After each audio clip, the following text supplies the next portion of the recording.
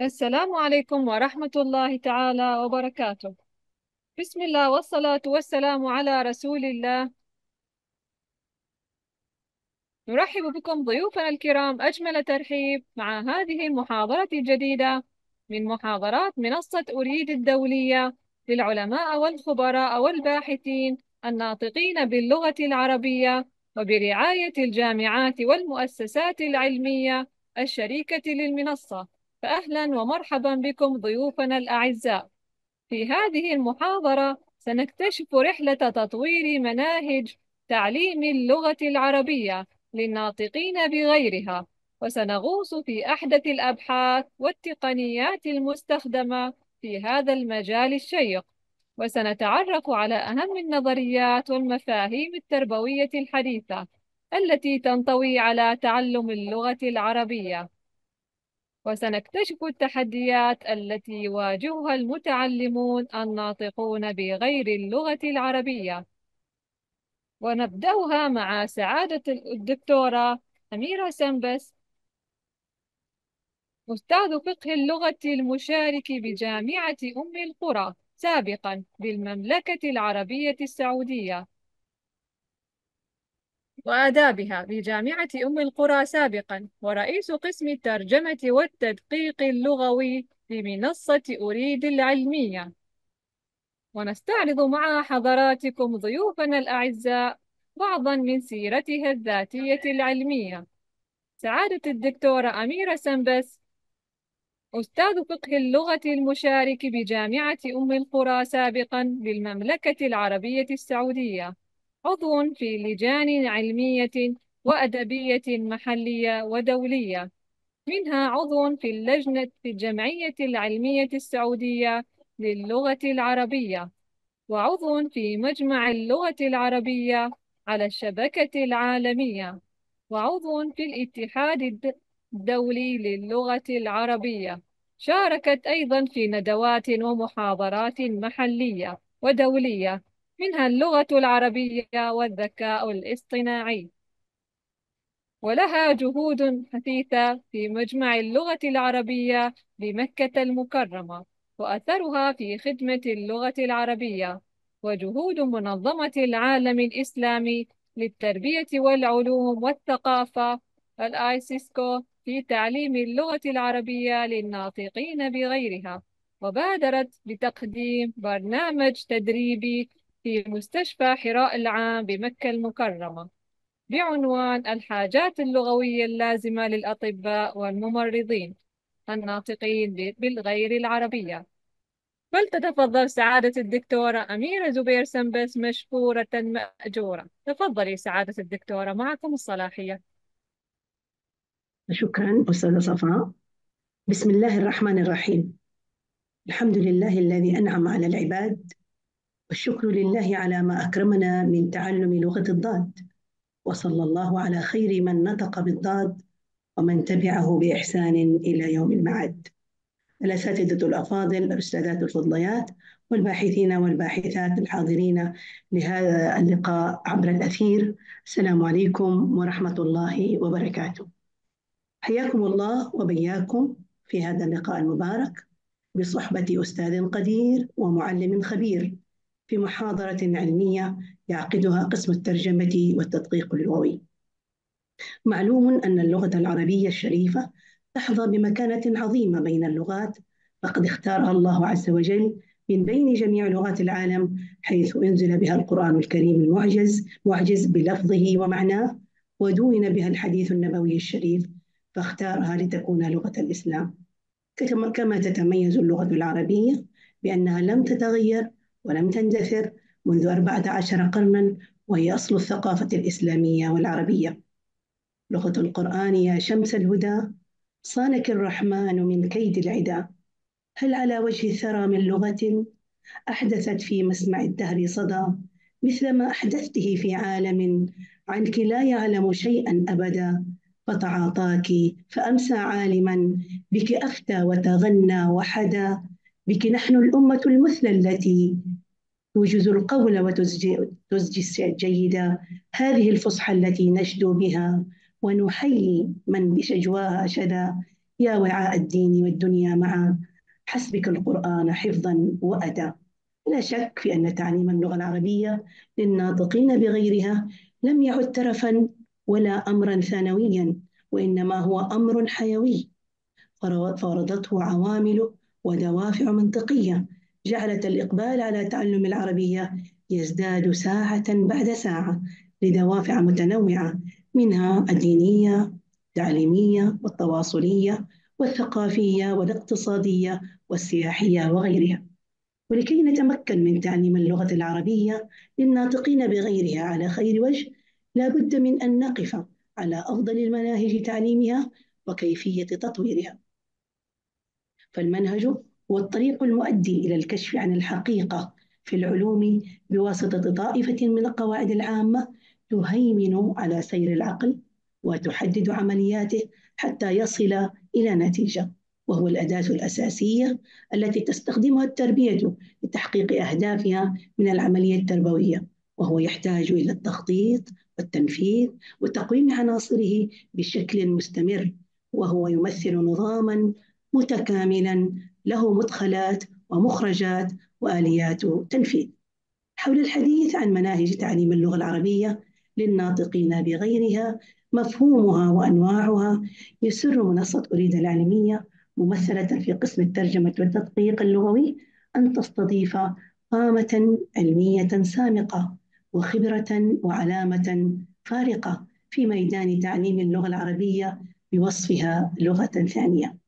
نرحب بسعادة الأستاذ الدكتور خالد حسين أبو عمشة أستاذ اللغتانيات التطبيقية المشارك حاصل على دكتور الفلسفة في مناهج اللغة العربية وطرائق تدريسها للناطقين بغيرها ودكتوراه ثانية في الدراسات اللغوية اللسانات التطبيقية نظريات اكتساب اللغة الثانية.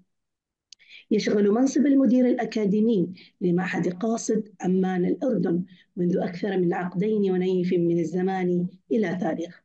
وهو المدير التنفيذي لبرنامج الدراسات العربية بالخارج. كاسا الأردن وشغل منصب مستشار أميديست لبرامج اللغة العربية في الشرق الأوسط لمدة عقد من الزمان. عمل أستاذا زائرا في جامعة بريغام يانغ في ولاية يوتا في الولايات المتحدة الأمريكية وعمل وما زال محاضرا للغة العربية للناطقين بغيرها منذ عشرين سنة ومدربا وخبيرا في جامعات ومعاهد ماليزيا والسعودية والأردن والولايات المتحدة ودول الاتحاد الأوروبي. وهو خبير ومدرس للعربية للناطقين بغيرها في الإسيسكو والأليسكو. وهو عضو في لجان متعددة محلية وإقليمية وعالمية لتأليف سلاسل العربية للناطقين بغيرها حيث شارك في إعداد أكثر من عشر سلاسل في تعليم العربية للناطقين بغيرها للصغار والكبار ودرب في عشرات الدورات التدريبية في تأهيل معلمي العربية للناطقين بغيرها على مستوى العالم وأدار وما زال برامج جامعية عديدة في الشرق الأوسط لجامعات أمريكية وبريطانية وأوروبية عريقة منها جورج تاون وأكسفورد وغيرها. وهو مؤلف مشارك لسلسلة تعليم العربية للمستوى المتميز لمطبعة جورج تاون الأمريكية. له أكثر من مئة كتاب في مضمار تعليم العربية للناطقين بغيرها منفردا وبالاشتراك مع مؤلفين آخرين. شارك في أكثر من خمسين مؤتمرا حول العالم وله أكثر من خمسين بحثا منشورا في مجلات ومشاريع علمية محكمة وهو عضو في لجان علمية وتقويمية وجودة واعتماد أكاديمي متعددة على مستوى العالم. هذا غيض من فيض سيرته الذاتية العلمية نفع الله به وبعلمه العربية وأهلها والناطقين بغيرها. تفضل أستاذنا القدير بتقديم المحاضرة مشكورا مأجورا المايك معك ميكروفون معك.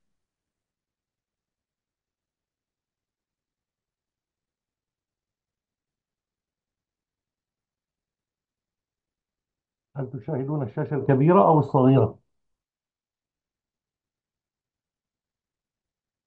دكتورتنا هل تشاهدون الشاشة الكبيرة أو الصغيرة؟ نرى الاثنين. دكتور تظهر الشاشتين حاليا تظهر عندنا شاشتين. والآن؟ الآن الكبيرة تفضل. أوكي. أسعد الله مساءكم وأهلا وسهلا ومرحبا بكم أينما كنتم. وأريد أن أبدأ بتقديم جزيل الشكر وعظيم الامتنان آه، لمنصة أريد ولكل العاملين فيها ولكل الزملاء الذين رتبوا ونسقوا وعملوا وجاهدوا حتى خرج هذا اللقاء في صورته النهائية.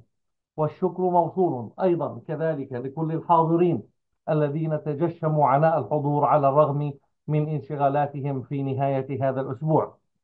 وأود أن أتبادل معكم الحديث حقيقة في هذا اليوم حول موضوع من الموضوعات الملحة والمهمة والضرورية في مجال تعليم العربية للناطقين بغيرها استجابة لطلب الزملاء في منصة أريد وموضوعنا هو مناهج تعليم العربية للناطقين بغيرها المفهوم والأنواع. وفي الحقيقة جل ما أريد أن أقوله في هذا المقام في الحقيقة ينصب في اهتمام الباحثين وطلبة الدراسات العليا من جهة والمعلمين من كونهم أو كونهم سوف يتعاملون مع المنهج بطريقة أو بأخرى. وبالتالي أنا أؤمن أنه ليس من مسؤولياتهم منذ البداية أن يقوموا بوضع المنهج بمفهوم المنهج الواسع ولكن فهم المكونات الأساسية له سوف تساعدهم على تطوير مهاراتهم آه، المهنية بشكل عام. وفي الحقيقة أبدأ بهذا التسأل بهذا السؤال ما منزلة المنهج؟ لماذا نريد أن نتحدث عن هذا الموضوع؟ باختصار هذا الموضوع يمثل ثلث الأهمية من المكونات التي تكون أو تتكون منها منظومة التعليم عموما وتعليم العربية للناطقين بغيرها على وجه الخصوص. فهناك آه، فيمكن القول بأن المنهج يمثل بكل بساطة في ضوء آه، أدواتنا المعاصرة ال GPS تخيل أنك تريد أن تقطع هذا المكان وأن تتجاوزه من مكان إلى آخر. كيف السبيل إلى ذلك؟ لعلك يمكن في نهاية المطاف أن تجتاز ولكن هل سيكون الاجتياز من المرة الأولى أو الثانية أو الثالثة؟ كم ستستغرق من جهد ووقت ومال من أجل الوصول إلى الهدف المنشود في نهاية المطاف؟ لا شك أن المنهج سوف يمثل خريطة طريق جواز سفر GPS لفئة كبيرة من المعلمين. وبالتالي هو آه، آه، من الأهمية بمكان أن نعرف كل ما له علاقة بهذا المكون المهم من مكونات العملية التعليمية. ويعد ويعده جاك ريتشارد وجاك ريتشارد من أفضل من كتب في مناهج تعليم اللغة الإنجليزية. وقد وصفه بقوله بأنه مكون أساسي من مكونات عملية تعليم اللغة الثانية أو الأجنبية وهو الأساس أو أساس المدخلات اللغوية.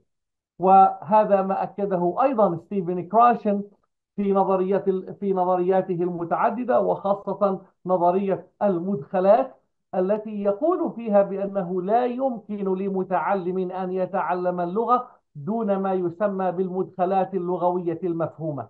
وإذا أردت أن تحقق هذا التعلم لا بد أن تقدم اللغوي المدخلات اللغوية المفهومة ضمن قاعدته المشهورة I plus 1 و I ترمز إلى مستوى كفاءة الدارس و plus 1 ترمز إلى التحدي أو الصعوبة بدرجة واحدة التي تحقق التعلمات المنشودة بالنسبة للمتعلمين. ونظرا لما قلته في بداية المطاف حقيقة ثمة بعض المصطلحات التي سوف ترد في هذه المحاضرة وهي تمثل تحريكا للمياه الراكدة ولعلها تكون مناسبة لكي يعود الأشخاص للبحث عن هذه المجالات المختلفة لأننا لا نستطيع في الحقيقة أن نتوقف عند التفصيلات للإحاطة بهذا الموضوع الكبير بشكل عام.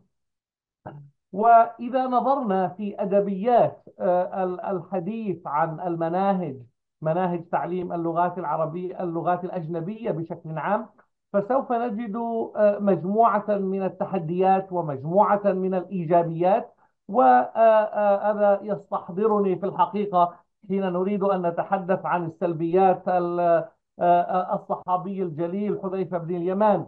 الذين كان الصحابة يسألون دائما عن الأعمال التي تقودهم إلى الجنة وكان يسأل عن الأعمال التي تبعده عن النار.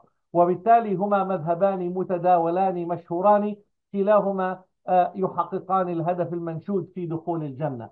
فإذا كنت تسأل في الحقيقة عن مدخلات الجنة وهو ما كان يفعله جل الصحابة فيكون ذلك. وإذا سألت أيضا ما الأشياء التي إذا ابتعدت عنها دخلت الجنة أيضا تستطيع أن تصل في نهاية المطاف إلى نفس الغاية والهدف. وبالتالي من إيجابيات وسلبيات اعتماد الكتب أو المناهج أو السلاسل بشكل عام. أولا أن البناء قد يكون سيئا قد يكون غير لولبي. لولبي بمعنى لا يوجد فيه تدوير وهذان مصطلحان مهمان في اكتساب اللغة الثانية. بمعنى أن تتطرق إلى الموضوع بشكل جزئي ثم تتوسع فيه كلما ارتقيت في مستويات الكفاءة. فعلى سبيل المثال تقدم اسم الفاعل في المستوى المبتدئ ثم بصورته الأساسية للفعل الصحيح ثم في نهايته تقدم الفعل للفعل المهموز ثم تقدم في نهاية في في المستوى الثاني الفعل الناقص ثم في المستوى الذي يليه تقدم اسم الفاعل من الفعل الرباعي الصحيح ثم في المستوى الذي يليه تعود إليه مرة أخرى رابعة وتقدم الفعل ال ال ال ال ال الأفعال الناقصة أو الأفعال المعتلة. ثم تقوم بهذه الدورة في شتى المفاهيم المختلفة على مستوى المفردات وعلى مستوى التراكيب وعلى مستوى الموضوعات أو الوظائف كما تسميها معايير المجلس الأمريكي أكفل. أن هذا الكتاب قد لا يعكس حاجات الدارسين ومن الخطوات التي سنتحدث عنها أن الكتاب المثالي هو الذي يقوم على تحليل واسع وتحليل كبير على طائفة واسعة من الدارسين لحاجاتهم. لماذا يدرسون اللغة؟ وأيضا يقلل من مهارة المدرسين غال وقد يكون غير متوفر. هذه أبرز حقيقة. هناك ثمة طائفة أخرى من التحديات والسلبيات لكن هذه السلبيات المتداولة في الأدب التربوي. أما الإيجابيات فقد يوفر بناء واضحا. لو نقصت مهارة المدرس في امتلاك ما سنسميه لاحقا أيضا ونتحدث عنه مصفوفة المدى والتتابع للمستوى أو ما هي واصفات الكفاءة لمستوى معين من المستويات فالكتاب يوفر فرصة للمتعلم للمعلم الذي ليس لديه اطلاع واسع أو لمن دخل الميدان حديثا بشكل عام. فهو يوفر بناء واضحا ويساعد على معيرة التدريس يوفر معايير واضحة. وفي الحقيقة في دراسة أجراها أستاذنا القدير المرحوم الدكتور رشدي طعيمة عندما قام بتحليل مجموعة من السلاسل وجد للأسف أن نسبة المشترك بين هذه السلاسل على صعيد صعد متعددة لا تتجاوز 30% وفي رأيي أن السبب يكمن في هذا الاختلاف إلى اختلاف خبرات الأشخاص الذين عملوا في هذه المناهج وبالتالي لم تتردد المفردات في الكتب نفسها لم تتردد التراكيب لم تتردد الموضوعات لم تتردد الوظائف. لم تتردد الثقافة لم تتردد إلى آخره من مكونات المنهج الذي سوف نتحدث عنه بعد قليل. لذلك نحن بحاجة إلى وضع معايير. فلعل من يجب أن يشتغل على المناهج يجب أن يمتلك معايير بناء المناهج التي يمكن أن تستقى من مصادر ومشارب وموارد مختلفة ولعل من أهمها كما سيأتي الحديث الأطر العالمية.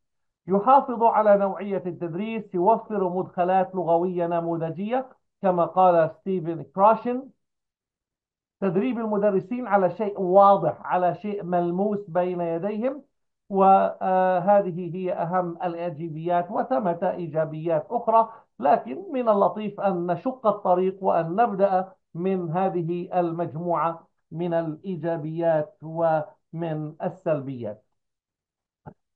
ما هو المنهج؟ حقيقة ثمة تعريفات كثيرة للمنهج. أود أن أتوقف عند بعضها لعلها جميعا تساهم في خلق تصور لدى كل شخص منا في آه، ماهية المنهج لكي تكون منطلقا لما سيأتي من حديث. هي مجموعة من نواتج التعلم التي نسعى إلى تحقيقها. نواتج التعلم التي نسعى إلى تحقيقها. وهناك طبعا نواتج على مستوى الأصوات وعلى مستوى المفردات وعلى مستوى القواعد وعلى مستوى المهارات الأربعة أيضا على مستوى الثقافة. فهذه هي المكونات الثمانية الأساسية لما نقوم بتدريسه في فصول تعليم العربية للناطقين بغيرهم. هي المعرفة التي تؤدي إلى تغيير السلوك. هي هو المنهج هو الخبرات التي يتم تقديمها في مجال معين للمتعلمين تحت إشراف المدرسة أو المؤسسة أو رعايتها أو توجيهها.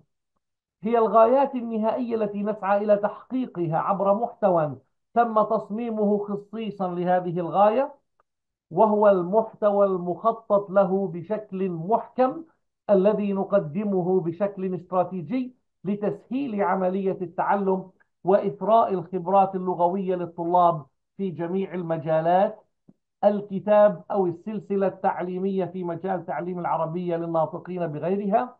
وأقول أخيرا وليس آخرا بأنه المدخلات اللغوية التي تعمل على تطوير الكفاءة اللغوية للدارسين. المدخلات اللغوية التي تسعى إلى تطوير الكفاءة. فعندنا كفتي ميزان. عندنا مدخلات لغوية تشتمل على كل ما له علاقة باللغة من أنظمة مختلفة أو من عناصر ومهارات. العناصر هي ثلاثة كما قلنا الأصوات والمفردات والتراكيب والمهارات وهي الاستماع والمحادثة والقراءة والكتابة ومنهم من يضيف إليها إليها مهارة خامسة وهي الثقافة من أجل تطوير الكفاءة. والكفاءة أيضا مصطلح علمي بمعنى ما يستطيع الدارس أو الشخص القيام به باللغة. هذا ما نسعى إليه من خلال هذا المنهج ما يستطيع الدارس القيام به. ولذلك من التعريفات المعتبرة للكفاءة ما يقوم الدارس ما يستطيع الدارس أن يقوم به باللغة بصرف النظر عن المعلم والمؤسسة والكتاب. أنا في الحقيقة لا أهتم في نهاية المطاف. من هو المدرس ولا هو الكتاب ولا هو وما هو البلد الذي أو المؤسسة التي درس فيها. في نهاية المطاف هذه مجرد غايات هذه عفوا هذه مجرد أدوات من أجل الوصول إلى غايات. فبالتالي الهدف هو مربط الفرس وبيت القصيد وحجر الزاوية في هذا المجال بشكل عام. ما أنواع المناهج التدريسية؟ في الحقيقة إذا قمت بتقليب أو بالاطلاع أو بتصفح مناهج تعليم اللغات الأجنبية عموما وتعليم العربية منذ ظهورها منذ يعني ستينيات القرن الماضي. هذه هي البداية التي يمكن أن نسميها الحقيقية للتعليم المنهجي المؤسسي لمجال تعليم العربية للناطقين بغيرها. فيمكن أن نقول أن ثمة أنواع مختلفة. ينبغي أن يطلع عليها المعلم أن يعرف خصائص كل منهج خصائص كل كتاب من أجل تلبية الحاجات الضرورية للمتعلمين.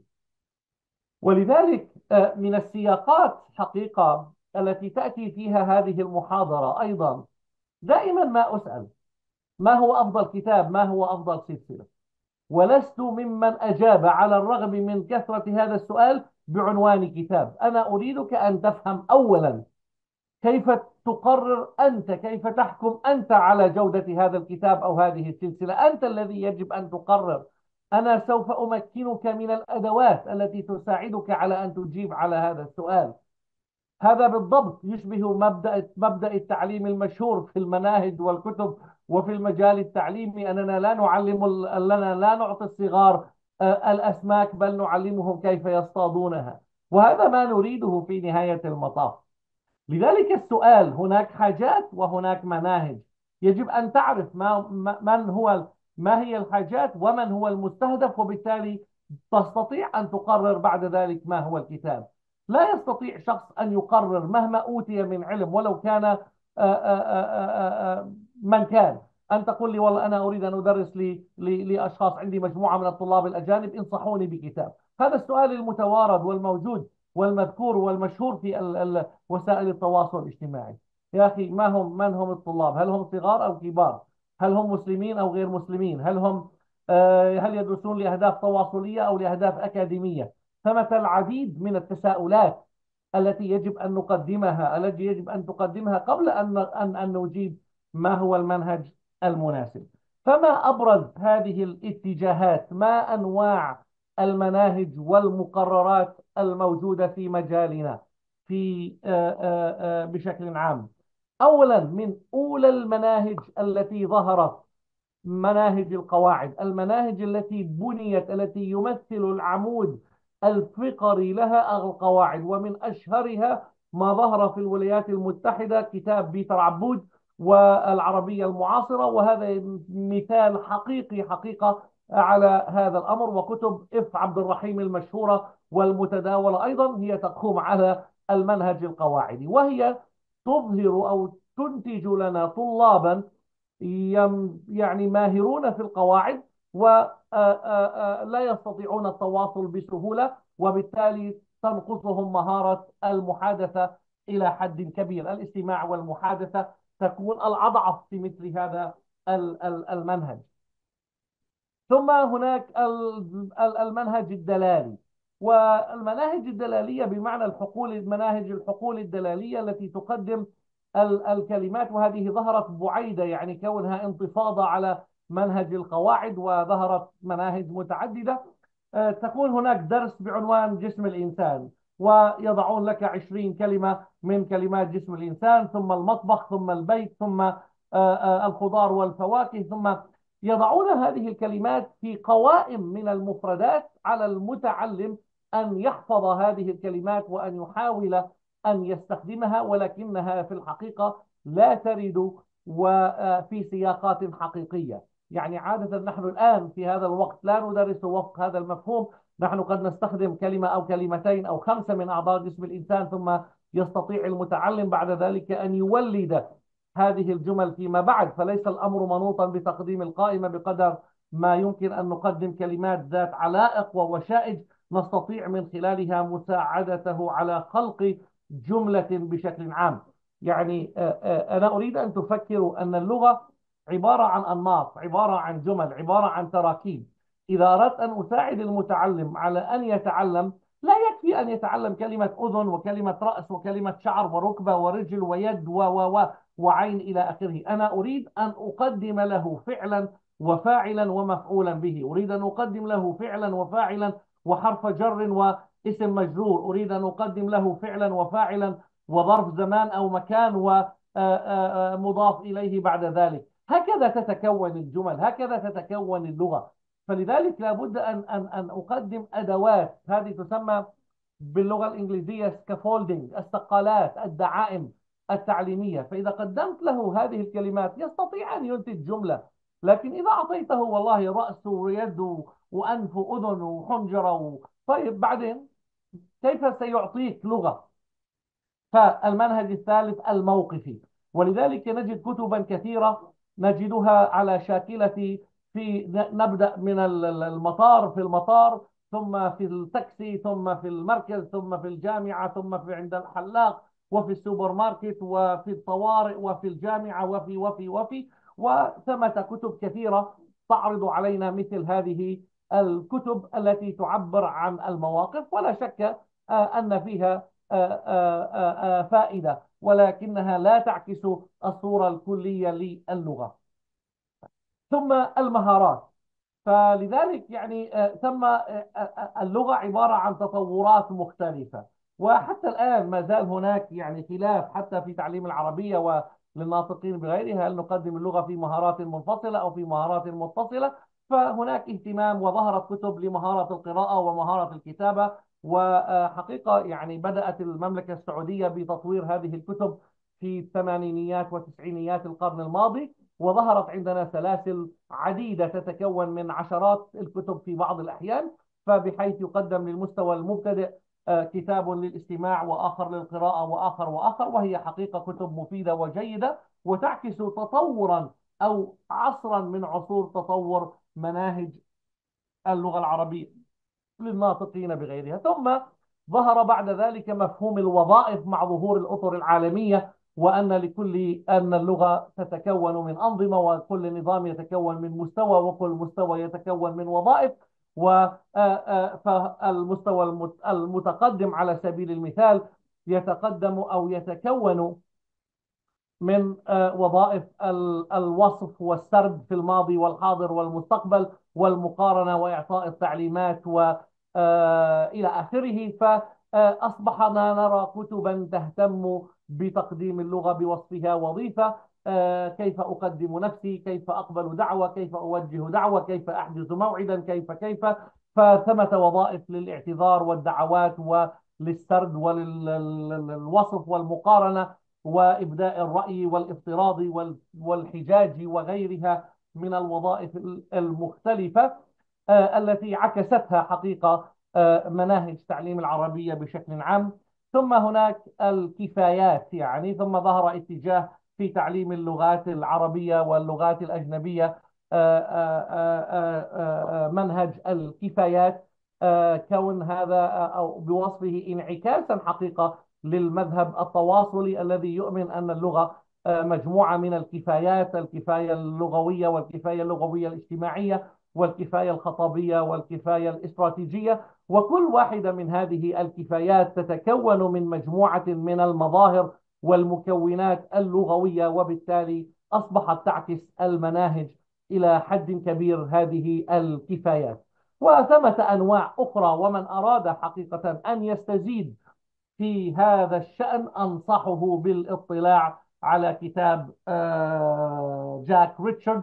له كتاب عن مناهج تطوير بعنوان مناهج تطوير اللغة والكتاب مترجم إلى اللغة العربية والكتاب أيضا متوافر على الشابكة وفيه حديث مفصل عن هذه الأنواع.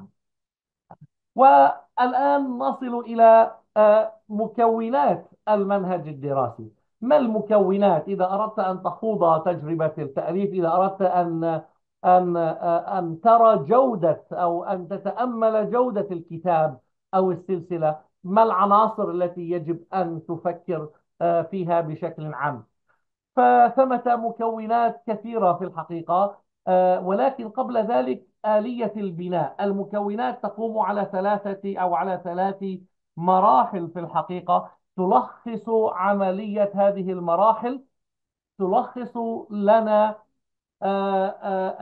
عملية اكتساب اللغة. فكل المكونات التي سنتحدث عنها بعد قليل تتمثل أو تندرج أو تقع في في ثلاث عمليات أو في ثلاث مراحل. الأولى تسمى المدخلات والثانية العمليات والثالثة المخرجات. وتأكدوا أنه لا يمكن لأي شخص كان مهما كان أن يتعلم لغة أو أن يتقن لغة دون أن يمر بهذه المراحل الثلاث. لابد أن تتحول الأصوات وهذا ما عبر عنه ابن جني في تعريفه للغة أن اللغة عبارة عن أصوات أصوات يعبر كل قوم بها عن أغراضهم. لابد أن تتحول أو أن تمر بهذه بهذا المصنع وهذا المصنع يمر أو أو يتكون من ثلاث مراحل. المرحلة الأولى هي المدخلات وقلنا هي المدخلات المفهومة. بحسب ستيفن كراشن I plus 1 ثم العمليات وهي العمليات الذهنية processing وثم وصولا إلى المخرجات كيف تتحول هذه العمليات إلى إلى إلى مخرجات. وأريد أن أؤكد هنا في الحقيقة أن المدخلات وأهمية المدخلات المفهومة أن لو أن أن لو أم لو أن هناك يعني أي شخص أجنبي لو أن أمريكي على سبيل المثال هذا الأمريكي لا يتحدث العربية بالبتة ثم قرر أن ينتقل إلى الأردن أو إلى المغرب أو إلى مصر أو إلى أي بلد عربي في الحقيقة. فعلى الرغم ولو قضى عشرين عاما فإنه لن يتجاوز حدود المجاملات لأنه لا يمكن البتة حقيقة لشخص مبتدئ دون أن يدرس أو أن يلتحق بفصول تعلم اللغة من أن يطور أو يكون لغة لأنه لم يمر بمرحلة المدخلات المفهومة. أما إذا جاء هذا الشخص على المستوى المتوسط فأعلى فيمكنه أن يطور لغة حتى لو لم يدخل الفصول الدراسية لأن لغة المجتمع تتراوح ما بين المستوى المتوسط في معظمها إلى المستوى المتقدم إلى المستوى المتميز. فبكلمات أخرى يتكون المنهج أو مكونات المنهج هي أولا هناك إجمال ثم هناك تفصيل. مكونات المنهج سوف أتحدث فيها وحولها على مستويين مستوى إجمالي ومستوى تفصيلي. أما مستوى الإجمال فلا بد أن يكون للمنهج أو للسلسلة فلسفة. ما الفلسفة التي تريد أن تقدمها؟ قبل قليل نحن تحدثنا طبعا هناك.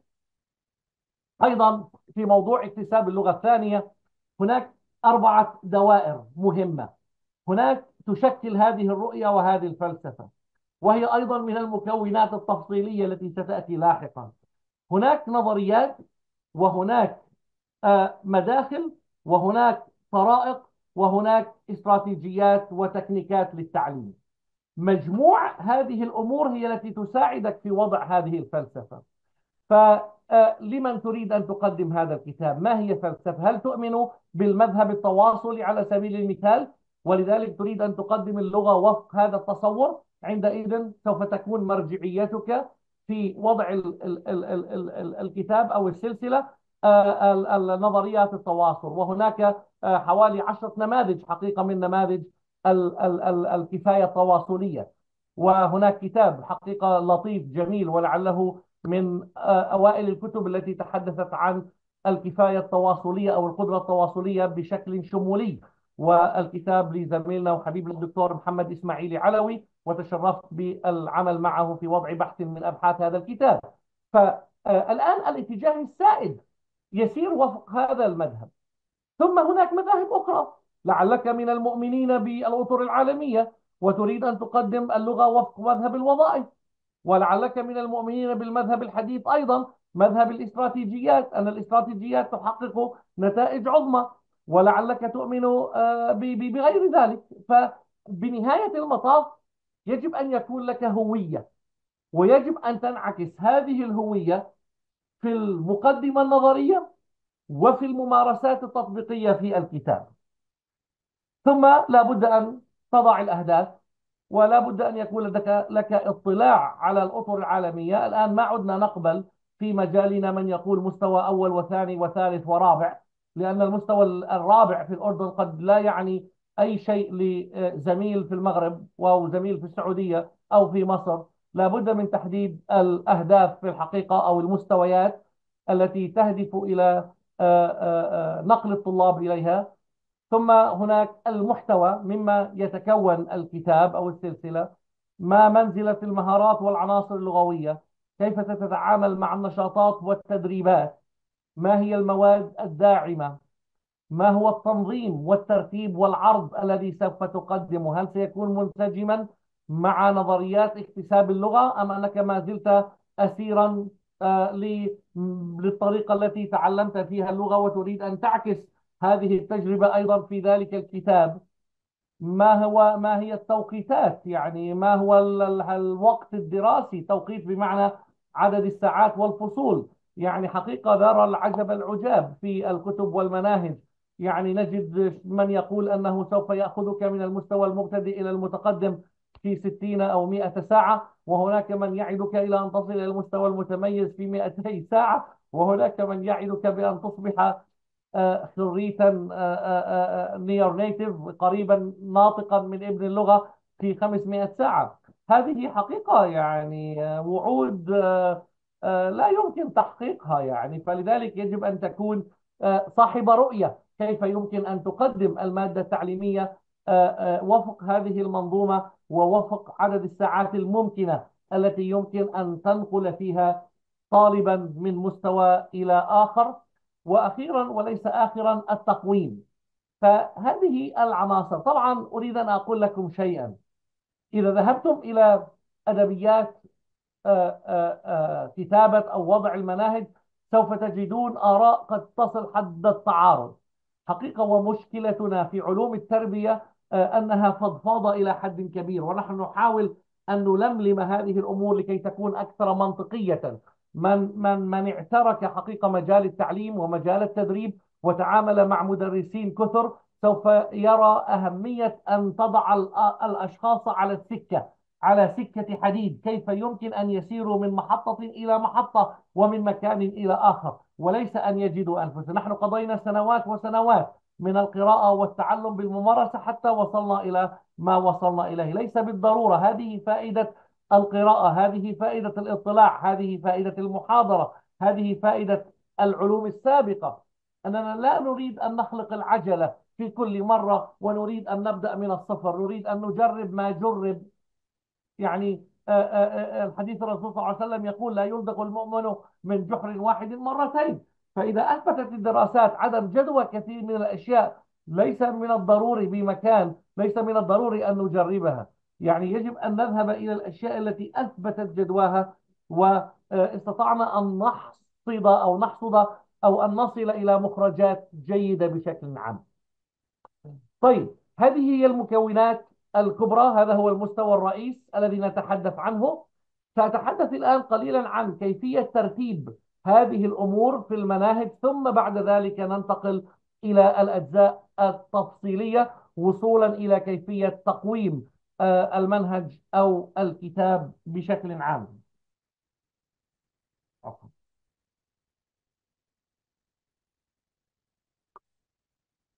المطلع على المناهج بشكل عام يجد أن المناهج تتكون من ثلاثة أركان كبرى. هناك كما قلنا وكما سبق القول وهذا تذكير لكيفية الترتيب لكن فقط نحن نراجع الكلمات. تذكروا أن هناك مدخلات وهناك عمليات وهناك مخرجات. يعني من بداية الوحدة إلى آخرها يجب أن نرى هذه الأمور الثلاثة. حتى أن أو حتى إن كثيرا من طرق التدريس والاستراتيجيات تتوافق مع مع هذا المذهب لأنه ثبت يعني بشكل لا يقبل النقاش الآن أن تعلم اللغة أي لغة. بصرف النظر عن المدرسة السلوكية ولا المدرسة المعرفية ولا المدارس الأخرى في الحقيقة أن اكتساب اللغة يمر بهذه العمليات بصرف النظر عن الترتيب. نحن نختلف في الترتيب ولكننا لا نختلف في المراحل الثلاث. هذا هو الاختلاف بين بين بين النظريات.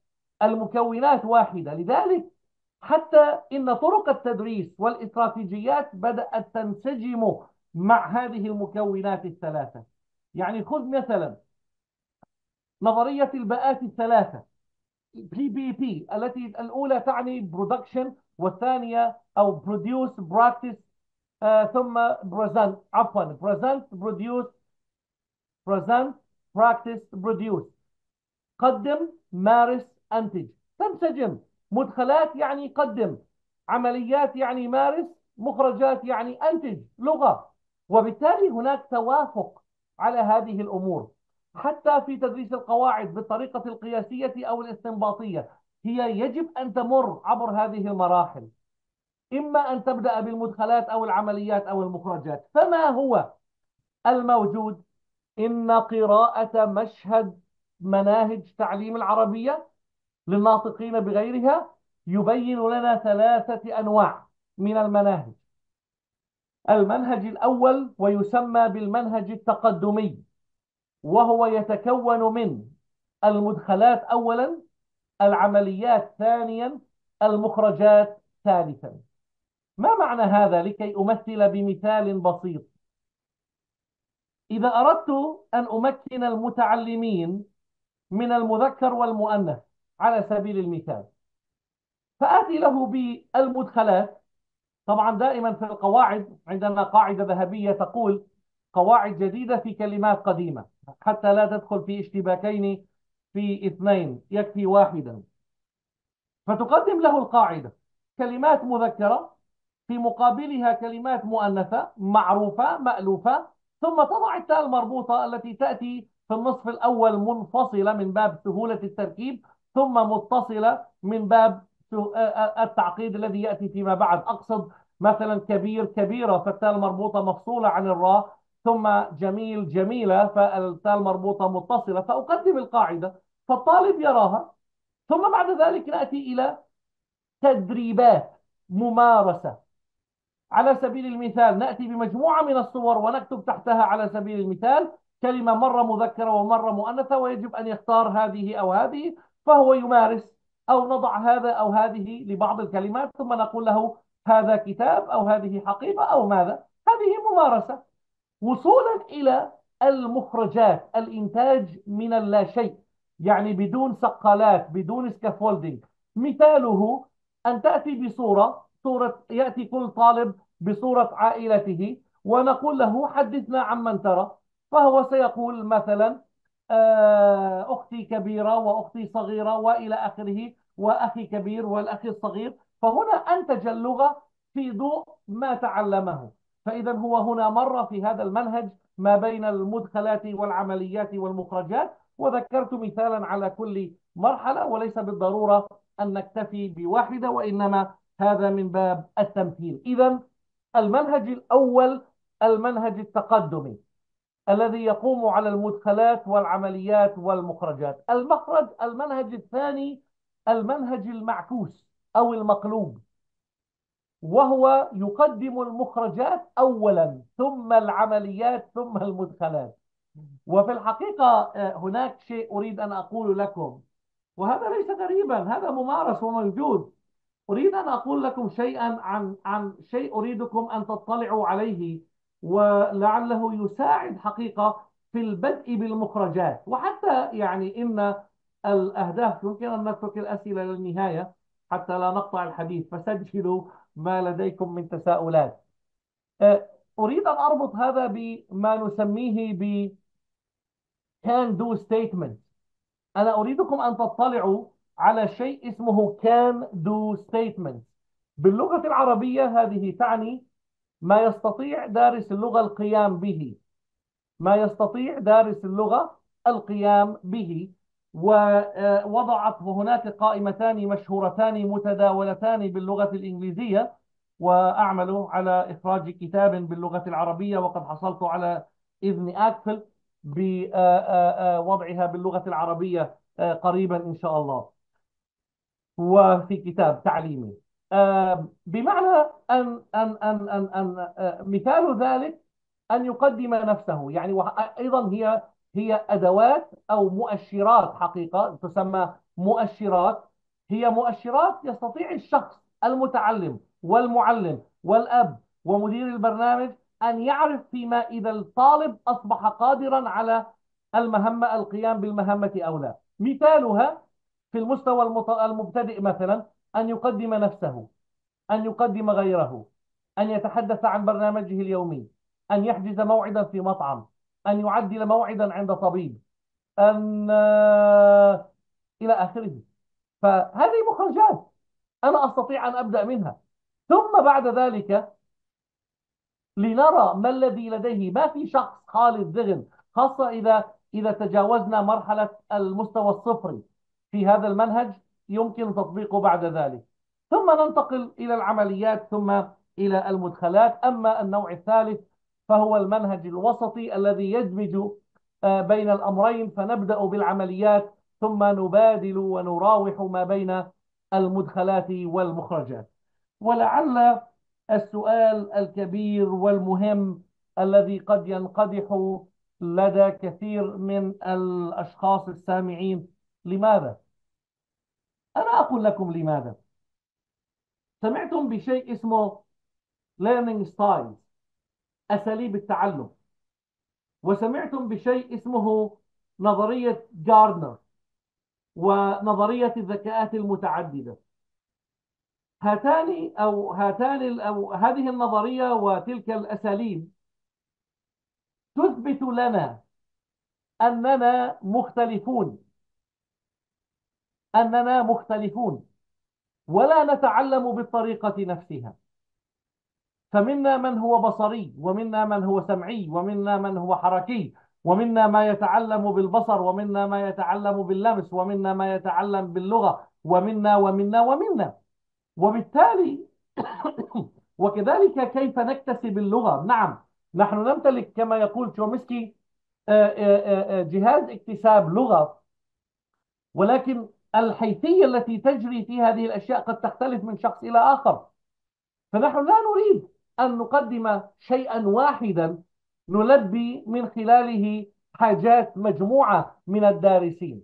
ولذلك أنا أؤمن دائما بمحاولة التعرف في الأسبوع الأول من طلبتي على آه، أساليب التعلم على ذكاءاتهم المختلفة.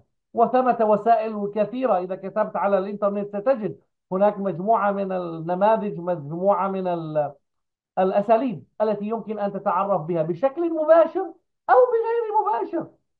وبالتالي آه، يمكن التعامل مع هذا أو يمكن مساعدة هؤلاء في الوصول. فإذا المنهج كان يسير وفق مخطط معين عليك أنت أن تأتي وهذا مما سأقوله ما هو دوري في التعامل مع المنهج إذا لم أرضى عنه تمام الرضا؟ وسنتحدث عن الخطوات.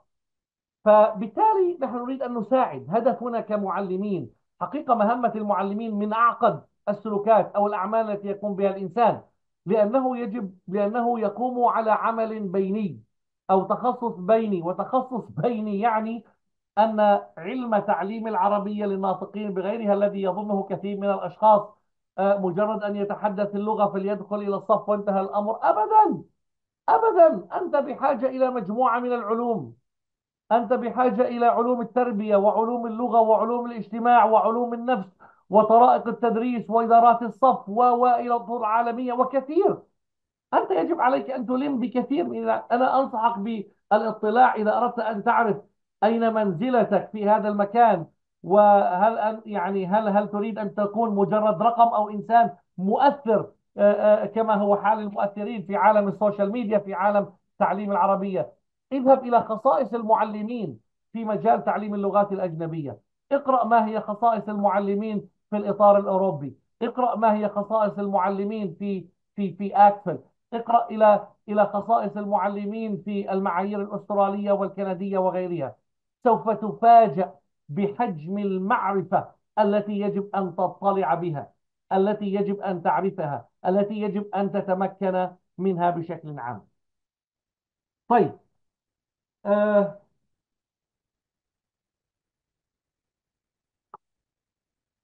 نذهب الآن إلى خطوات بناء المنهج. تخيلوا معي بعد أن استعرضنا الإطار العام.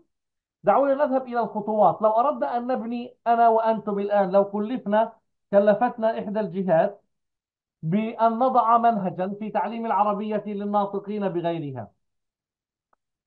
فماذا نريد أن نفعل؟ فأولا آه، نريد أن نحدد الأهداف والغايات. نريد أن نقرر ما هو المحتوى وما هو التنظيم وما هو التقويم. هذه الخطوات الرئيسية التي يعني لها أشياء ملموسة. طيب يلا نذهب إلى التفاصيل التي تحدثنا عنها. أولا ما هي رؤيتنا؟ ما هي فلسفتنا؟ هل نريد أن نقدمها في ضوء؟ يعني على الأقل على الأقل الآن يجب أن تقول إما أن تقدم كتابا عاما دون أي رؤية دون أي فلسفة كما هو حال آه، آه، كثير من الكتب في الماضي قبيل ظهور الإطار العالمية. ما كان هناك رؤية واضحة هناك تجربة هناك خبرة هناك يعني معايير بسيطة آه، غير مقننة بشكل عام وتجاوزا نطلق عليها معايير. وبالتالي الآن يعني أنا أنا أنا ألح وأؤكد على أنه لا بد أن ننطلق من رؤية واضحة وهي ما المذهب الذي تريده. هل تريد آه، آه، وفق الوظائف أم المهام أم التواصل أم القواعد أم المهارات أم ماذا؟ وبالإضافة آه، إلى ذلك ماذا تقول الأطر العالمية في ذلك؟ طبعا تعرفون أن الإطار الأوروبي يقوم على فلسفة واضحة في الكفاية التواصلية لكن بالنسبة لأكفل هم لا يؤمنون بوجود نظرية معينة وإنما تركوا المجال مفتوحا. ولكن في نهاية المطاف ثبت حقيقة معايير فعندهم شيء اسمه معايير الجاهزية. آه، وقد أعادوا النظر حقيقة في المعايير قبل أسبوعين ثلاثة. وربطوها بمجموعة من المعايير الأخرى مجموعة الواصفات و can do statement ومعايير الجاهزية أيضا. فهذه في مجموعها تعطينا تصورا واضحا عن الرؤية وكيفية تخطيط المستويات في ضوء الأطر التي تحدثنا عنها. بعد ذلك لابد أن ندرس الحاجات. طبعا الفكرة هنا يوجد إشكال يوجد تحدي. يعني ما معنى هذا؟ هل هل يجب أن نؤلف كتاب بعد أن يأتي الطلاب؟ لا. ليس الأمر كذلك. الأمر يحتاج إلى وقت طويل يحتاج إلى نفس طويل. لكن لابد من أن يقوم من يريد أن يخوض معترك التأليف تحليل الحاجات. ويكون ذلك عبر توفير كتب مختلفة. أنا أقوم بوصف مؤسسة أو مدرس باختيار ما يناسب. لذلك مثلا آه، هناك سلاسل أو كتب تعليم العربية لأغراض تواصلية الآن. هناك أغراض أو كتب لأغراض دينية. هناك كتب لأغراض اقتصادية. هناك كتب لأغراض طبية. هناك أغراض سياحية. هناك لأغراض قرآنية صرفة. هناك آه، آه، كتب لأغراض ماذا أيضا؟ أكاديمية. فنحن ما زلنا بحاجة إلى عدد كبير من هذه السلاسل والكتب. ما هو موجود حقيقة؟ اسمحوا لي أن أقول على الرغم من زيادته في السنوات الأخيرة ما زال لا يلبي ما زال لا يلبي حاجات من يرغبون ومن يقبلون على تعلم العربية. يعني أضرب لكم مثال شيء مؤسف حقيقة مؤسف بكل معنى الكلمة. حين تذهب إلى مكتبة ولكم أن تفعلوا ذلك. مكتبة من مكتبات الجامعات الكبرى في بلادكم. اذهبوا إلى قسم تعليم العربية للناطقين بغيره وقسم تعليم الإنجليزية لغير الناطقين بغيره في زيارة للجامعة بجانبي هنا كتب اللغة الإنجليزية لغير الناطقين بها هناك أكثر من خمسين رفا من الكتب والمناهج. كتب تعليم العربية للناطقين بغيرها لم تزد عن عشرة. إذا ذهبت وكتبت على الشابكة تعليم العربية لأغراض طبية سوف ترى عددا متواضعا من الأماكن. إذا كتبتها باللغة الإنجليزية ستجد, ستجد أكثر من مليون. شيء مخجل عندما تقوم بمقارنة البحث مثلا عن آه، آه، آه، بعض الأمور باللغة العربية وباللغة الإنجليزية. لذلك نحن نقول ما زلنا بحاجة إلى تحليل مزيد من الحاجات. لماذا يدرس اللغة هؤلاء؟ لماذا؟ كيف نريد أن نقدم اللغة؟ اللغة جسر التواصل الحضاري الإنساني. نحن بحاجة إلى تقديم هذه اللغة لأسباب كثيرة. حقيقة. فيجب أن نقدمها لأغراض مختلفة. أغراض أكاديمية دبلوماسية تواصلية تجارية صحفية اقتصادية تجارية إلى آخره. أيضا شيء مؤسف. أنا أقول أنني لم أرى حتى الآن سلسلة حقيقة يوجد فيها مصفوفة مدى وتتابع بشكل يعني آه، يرضي الضمير. اذهبوا إلى كتب سلاسل تعليم اللغة الإنجليزية.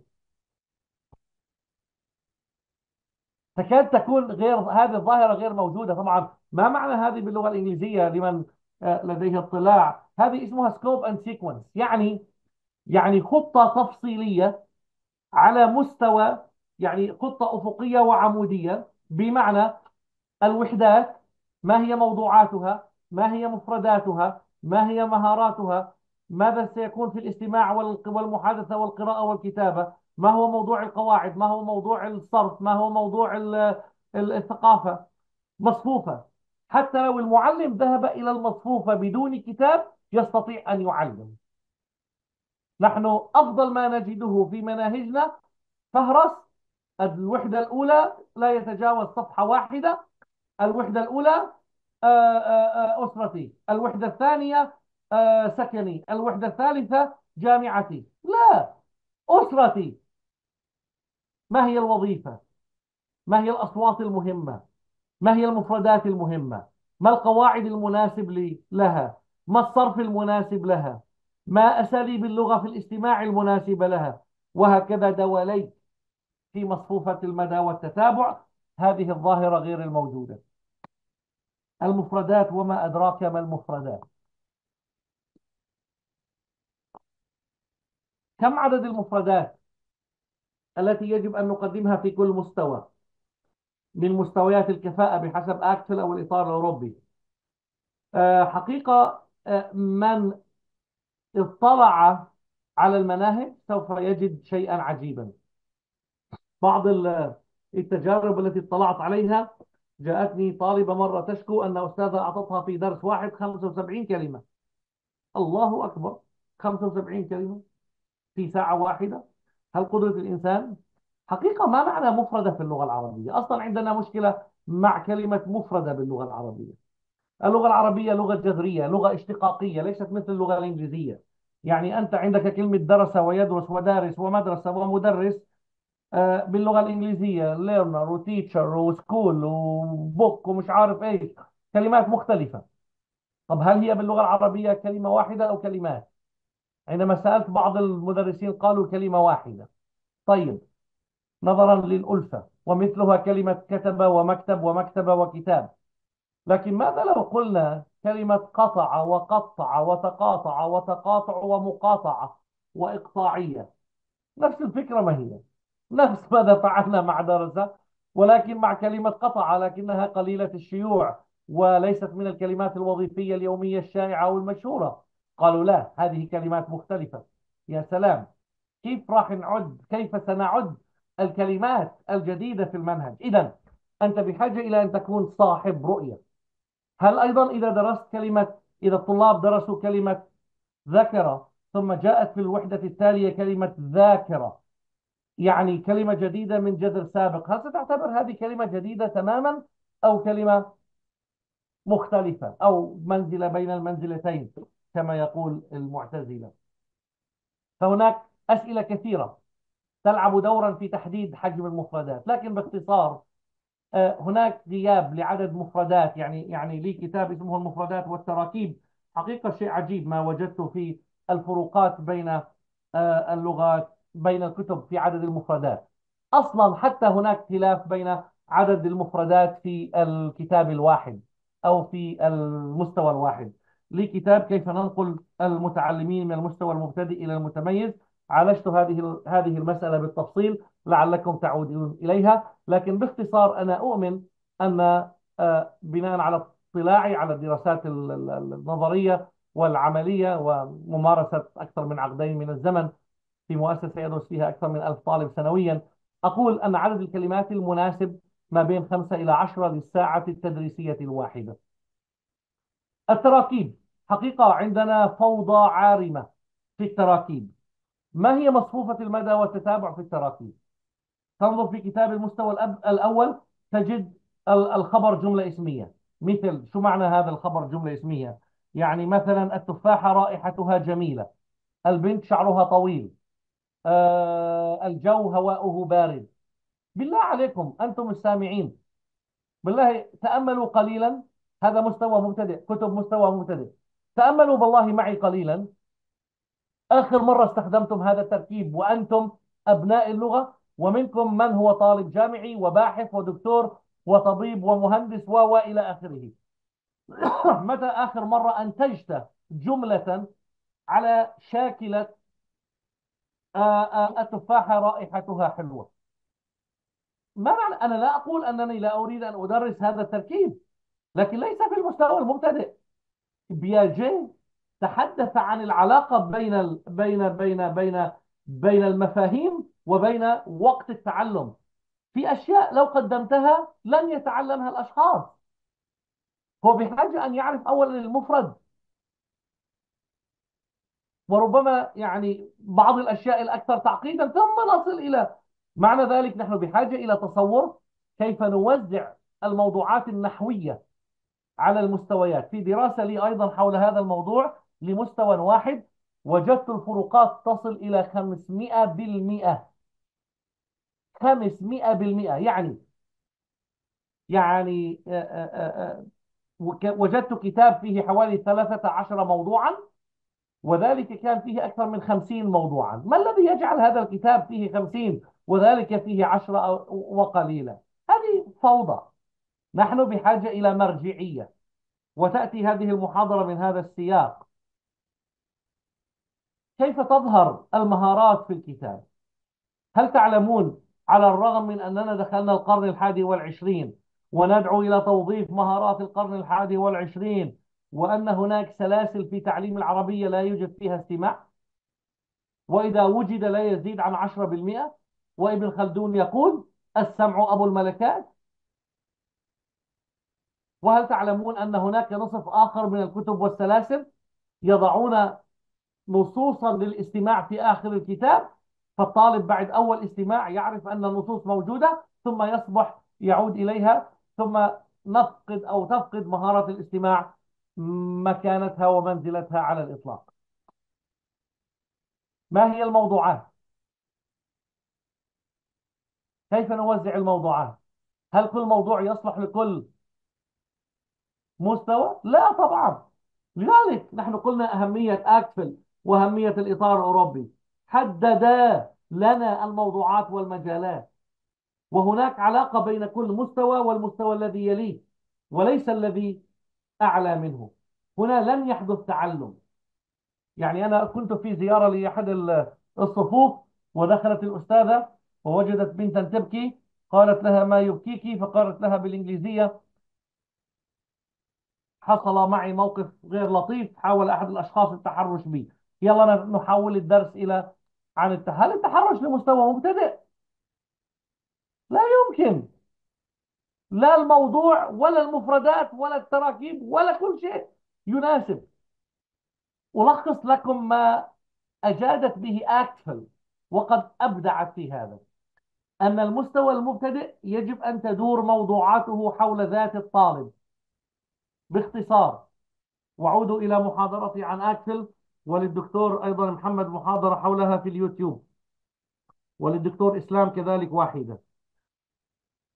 أكفل قالت المستوى المبتدئ الذات هو موضوع المبتدئ والمحيط هو موضوعات المتوسط والمجتمع هو موضوعات المتقدم والعالم هو موضوعات المتميز.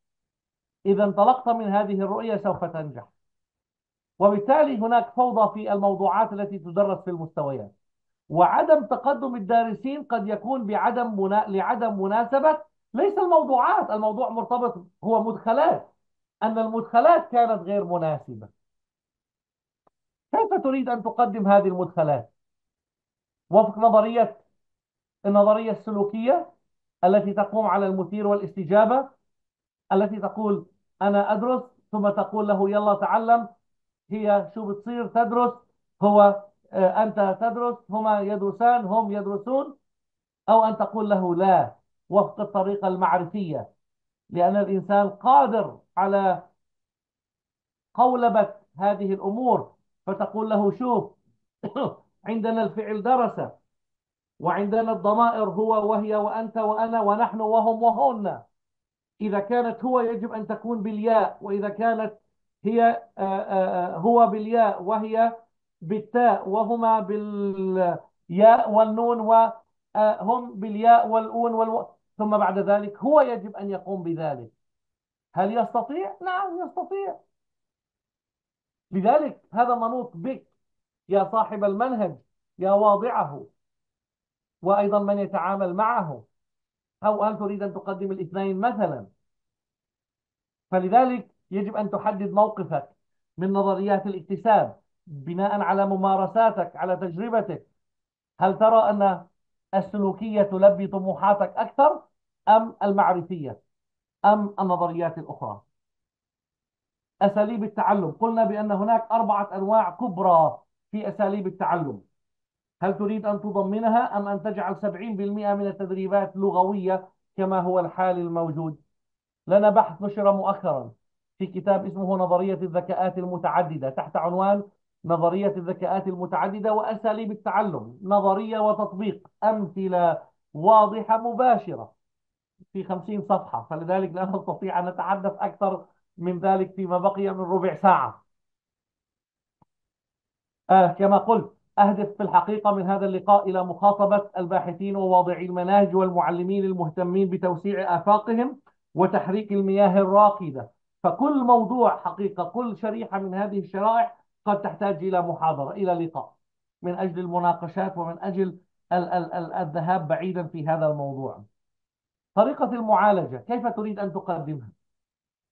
هل تريد أن تقدمها بصقلات بدون صقلات هل تريد أن تقدمها بطريقة العرض ثم الممارسة ثم ال ال ال ال ال الإنتاج؟ هل تريد أن تقدمها أحيانا تغاير بحيث تقدم مرات العمليات أولا ثم المت... يجب أن تقرر هذه المسألة. كم أنواع التدريبات والأنشطة؟ إلى أي حد تريد أن تدمج هؤلاء بالمجتمع؟ إلى أي حد تريد أن تبين دور المعلم ودور المتعلم؟ هذه من الأدوار المهمة دور المعلم ودور المتعلم على الرغم من أنها ستأتي لكنها مرتبطة بالتدريبات والأنشطة. هل تريد أن تعتمد على نظام أنا تعجبني السلاسل وقد اعتمدتها في إحدى آه، آه، كتبي آه، الاستبانات؟ لا أقدم المعلومات. أو كل درس يبدأ باستبانة. درسنا عن الطعام؟ اذهب. عنده خمس أسئلة. اذهب واسأل. ما وجباتك الرئيسية الكبرى؟ ماذا تتناول فيها؟ ما الطعام المفضل في نهايات الأسبوع؟ ما الأشياء التي تحبونها لا تحبونها؟ كيف تختلف ثقافة الطعام آه، في بيت آه، آه، جدك عن أو جدتك لوالدتك جدتك لأم لأبيك. ثم يأتي الطالب ويعطيني هذه الأشياء. كذلك الحال بالنسبة للملابس كذلك بالنسبة للعادات والتقاليد بالنسبة لكل شيء حتى للبطالة حتى للتصحر حتى للفقر حتى لكل شيء ننطلق من استبانة. إذا أنت يجب أن تكون صاحب رؤية. كيف تنطلق؟ من أو في تدريب أو في تقديم هذه الأشياء. كيف تريد أن تقيم؟ آه نادرا ما نجد أساليب. لاحظ آه لاحظ كتب اللغة الإنجليزية. تجد أن في كل نهاية وحدة في الحقيقة تجد مثل اختبار مثل تقييم ذاتي. نادرا ما نجد هذا في مناهجنا العربية. لماذا لا يوجد تقييم ذاتي يقوم المتعلم بتقييم نفسه؟ لذلك أنا دائما أسأل في نهاية كل درس في نهاية كل وحدة. هناك ثمة أساليب متنوعة للغلق أو للإغلاق. واحدة منها اذكروا لي اذكروا لي ماذا تعلمتم. نعم بهذا الشكل. نوعوا. تعرفون هناك استراتيجية اسمها KWL ماذا تع... ماذا ماذا تعرف ماذا تريد أن تعرف ماذا عرفت. في نهاية الدرس. نعم اسألهم ماذا عرفت. عرفنا مثلا اسناد الفعل إلى الضمائر تعلمنا كيف نسنده إلى هو وهي ونحن نعم آه، درسنا الأفعال التالية على سبيل المثال إذا كان درس قواعد. طيب.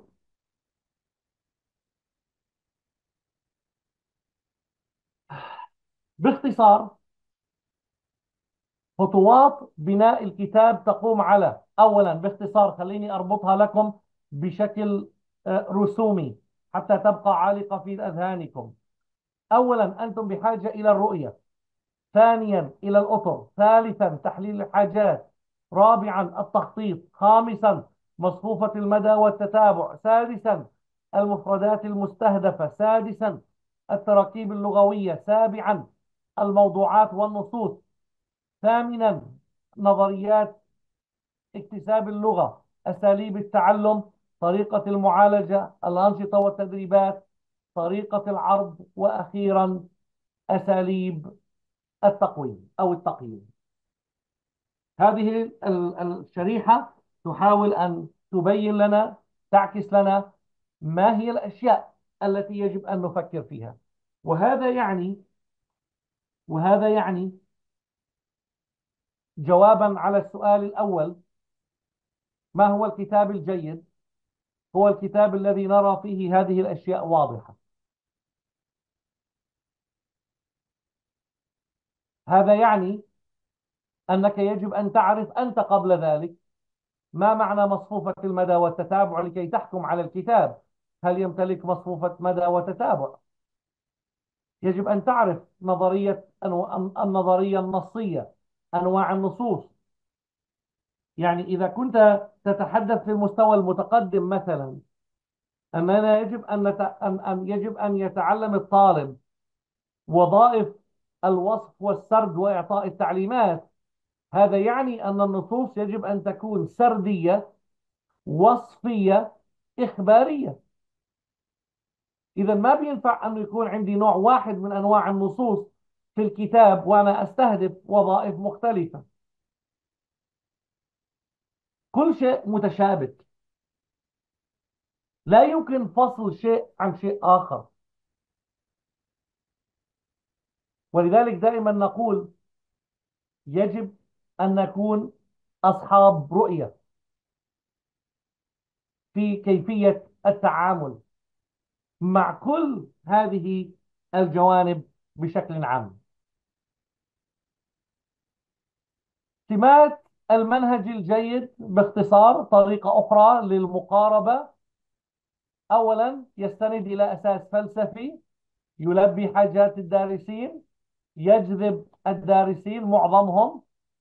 آه هذه مرة يلبي حاجات المعلمين يحدد مستويات الدخول والخروج للكفاءة يحدد الفترة الزمنية المطلوبة وأخيرا وليس آخرا فيه تنوع للنصوص. كيف نحدد ونختار؟ النظر في الأرضية والسقف في الكتاب. هل هما واضحان أم لا؟ هل الفلسفة والإطار المرجعي واضح أو لا؟ هل كانت الأسس اللغوية والتربوية والنفسية واضحة؟ على سبيل المثال هل رعي في الكتاب فكرة الاكتساب الصغار في مقابل الكبار؟ هل نتائج اللسانيات التطبيقية والتقابل اللغوية وتحليل الأخطاء تنعكس فيه؟ هل مصفوفة المدى والتتابع موجودة؟ هل تعلمون هل تعلمون أن على الرغم من وجود عشرات المناهج مصفوفة المدى وتتابع المنشورة على بساطتها في بعض الأحيان لا تزيد عن خمسة؟ لم أطلع على على على, الرغم من حرصي الشديد على البحث عنها لم أجد أكثر من خمسة. آه المقروئية يعني مناسبة النصوص للمستوى. ما هو دور المعلم والمتعلم؟ أنا أؤمن بأن آه آه التدريبات أو الكتاب يجب أن تعزز دور المعلم بوصفه مدربا والمتعلم بوصفه منتجا بمعنى أن وقت المتعلم يجب أن يحظى ب 70% في في حين أن وقت المعلم يجب أن لا يزيد في أي صف دراسي عن 30% في أسوأ الأحوال. هل البنائية ظاهرة؟ ما أقصد ما معنى البنائية والتدوير. هل الموضوع النحوي كما ذكرت سابقا تم تدويره؟ هل جاء بشكل حلزوني؟ هل ذكر وكرر؟ هل المفردة وردت في الوحدة الأولى ثم خلاص نسيناها؟ يجب أن أن نقوم بتدوير مفردات بشكل حلزوني بحيث نعطي المتعلم فرصة الاكتساب. تعرفون في أبحاث اللغة الثانية يقولون بأن المتعلم حتى يتعلم المفردة أو التركيب أو المهارة أو يحول المعرفة إلى مهارة يحتاج من 6 إلى 13 مرة من التعريض أو التعرض. وهنا يأتي تأتي خبرة صاحب المنهج والمعلم في كيفية تدوير هذا هذه الكلمة أو التركيب أو الفكرة من أجل أن يكتسبها الطالب. لذلك أحيانا نحن نلوم الدارسين لماذا لا يعرفون الكلمات. ولم نعطهم بعد الوقت المناسب لذلك. هل هناك أيديولوجية في المنهج؟ أسئلة وأسس ومبادئ اختيار المفردات والتراكيب. هل الثقافة العربية حاضرة؟ هل عدد الساعات واضحة؟ هل الوظائف واضحة؟ هل المستويات محددة؟ هل التكنولوجيا ظاهرة؟ يعني بعد كورونا آه، آه، كانت التكنولوجيا من باب الترف لكن أعتقد أنها الآن أصبحت من باب الحاجة. يعني آه، من في رأيي الآن إذا أردت أن تحكم على جودة المؤسسات التعليمية انظر هل تتوفر لها منصة تعليمية أو لا. منصة تعليمية بمعنى LMS مثل Blackboard مثل كانفاس مثل Moodle مثل هذه المنصات المتعددة. حقيقة الآن من غير المقبول. الآن أصبحت حياتنا كلها تقوم على الهاتف. الطالب في في السيارة وفي التاكسي وفي كل مكان يضع يعني الهاتف في يده تقريبا كل الوقت. فأنا أريد أن أستثمر كيف ممكن أن يدرس الكلمات ويجيب ويستمع ويقرأ ويفعل ويتفاعل آه، عبر التكنولوجيا. فالتكنولوجيا لم تعد ترفا بل أصبحت ضرورة. اللغة الوسيطة هل تريد أن تقدمها؟ ويجب أن يكون لك فلسفة رؤية. إذا أردت أن تق... أنا لست ضد ولا مع لكن أنا أقول يجب أن تكون صاحب رؤية في الاثنتين. إذا كنت تقدمها قدمها برؤية. وإذا كنت لا تريدها اتركها لرؤية. التصميم والإخراج يعني كتبنا إجمالا ضعيفة آه، بهذا الشأن. وهذا مرتبط بدور النشر والتحديات النشر والقدرة الشرائية ويعني آه، العمل المؤسسي وكثير من الأمور التقييم والتقويم. بالنسبة لموضوع التقييم والتقويم سوف أشارك معكم حقيقة آه، لأستاذنا الجليل مرة الثانية الدكتور رشدي طعيمة آه، وثيقة حقيقة آه، أسماها أداة موضوعية لتقويم كتب تعليم اللغة العربية للناطقين بغيرها. فيها عدد كبير جدا من المؤشرات.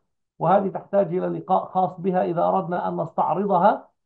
ولكن هي تتكون من أظن سبعة آه، معايير ولكل معيار مجموعة من المؤشرات. وأنا سوف أستعرض معكم المؤشرات المعايير وليس المؤشرات. وهذه الأداة منشورة وموجودة على الشابكة. والمؤشر الأول آه، أسس إعداد الكتاب. يعني يمكنك أن تحكم على الكتاب وفق هذه الوثيقة من الأسس التي أعد في ضوئها من المحتوى ومن المهارات وطريقة التدريس والتدريب والتقويم والمواد المصاحبة وإخراج الكتاب وأخيرا الانطباع العام. وكما قلت ثمة آه هذه معايير وثمة مؤشرات لها يمكنكم الاطلاع عليها لمن أراد أن يدخل آه بشكل أعمق في هذا الموضوع. وفي نهاية المطاف قد نسأل من يعد الكتاب أو السلسلة. فلا شك أن هذه ليست من مهام المعلم. ولكن من مهام المعلم أن يتعامل مع الكتاب بصورة مختلفة سنحددها بعد قليل. ولكن آه هناك اتجاهات حقيقة آه في موضوع هنا هذه هي. آه، نحن أمام ثلاثة خيارات في موضوع المنهج. إما أن نعتمد على المنهج كلية وهذا سلبي. وإما أننا نترك الكتاب تماما وهذا أيضا فيه سلبية لأنه لا يوجد بناء وليس من السهولة بمكان أن نجد شخصا آه، متمرسا يمتلك كل هذه الأمور التي تحدثنا عنها. ولذلك والاتجاه الثالث اختيار كتاب والتعامل معه بصورة أو بأخرى. ولذلك نحن ندعو إلى أن نعتمد الكتاب مع هذه المهام. أن تقوم بحذف وإضافة وتعديل وإعادة تنظيم ما تراه مناسبا ومعالجة ما تم إغفاله من أنشطة للمفردات والتراكيب وكذا وذلك عبر تعديل المهمات أو توسيعها أو تضييقها أو إضافتها أو ما تراه مناسبا. فهذا أفضل بكثير يعني على الأقل الكتاب فيه نوع من التنظيم نوع من الترتيب. فقد لا يكون كاملا لكنك آه، أسهل عليك أن تقوم بهذا الأمر من أن تبدأ من الصفر وأن تأخذ بعين الاعتبار كل الأشياء التي تحدثنا عنها من قبل. وفي الحقيقة آه، أود أن أتوقف هنا لكي أترك المجال للأسئلة والتساؤلات وأظن أنني قد أثرت فيكم يعني كثيرا من التساؤلات والأسئلة وأريد أن أترك المجال لكم من أجل آه، الأخذ والرد على هذه الأفكار متمنيا كما قلت في البداية آه، أن أكون قد حركت المياه الراكدة على الأقل. وقد أثرت لديكم الفضول في الاطلاع على الأسس والمبادئ والأفكار المرتبطة بوضع مناهج تعليم العربية للناطقين بغيرها.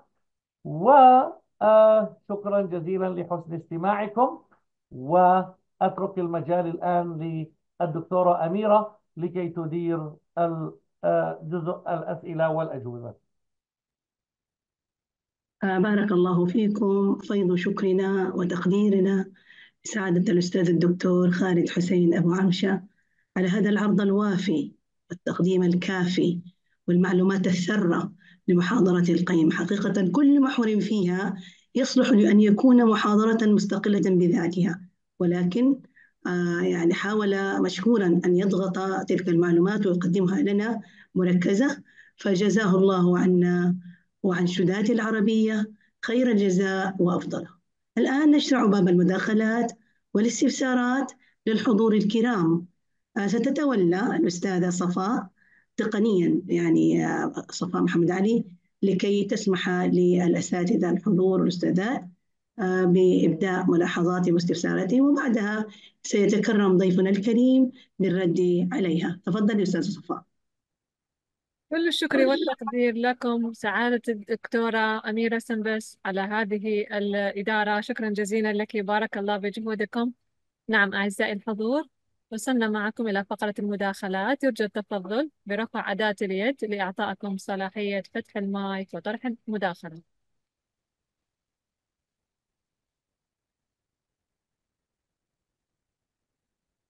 من لديه سؤال أو استفسار يتكرم برفع الكف.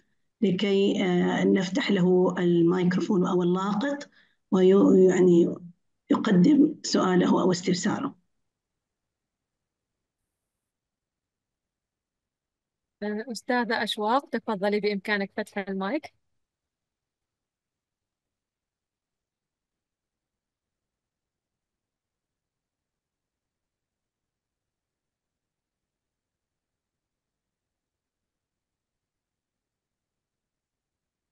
أستاذة أشواق. تم إعطائك الصلاحية. تفضلي. فتح أداة المايك التي لديك على الشاشة.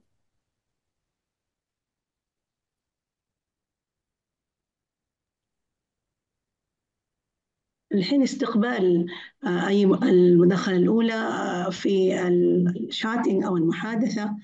سأل أحدهم ما اسم كتاب جاك ريتشارد دكتور المترجم إلى اللغة العربية؟ آه اسمه تطوير مناهج اللغة. تطوير مناهج اللغة لجاك ريتشارد والكتاب مترجم أظن في جامعة الملك سعود. والكتاب موجود على الشابكة موجود نسخة PDF على الشابكة متوفر. كتاب لطيف وكتاب أنصح بالاطلاع عليه آه، لمن آه، يهتم بهذا الجانب. جزاك الله خير. جزاكم الله خيرا. نعم تفضل دكتورة وداد. بإمكانك فتح المايك. السلام عليكم ورحمة الله وبركاته.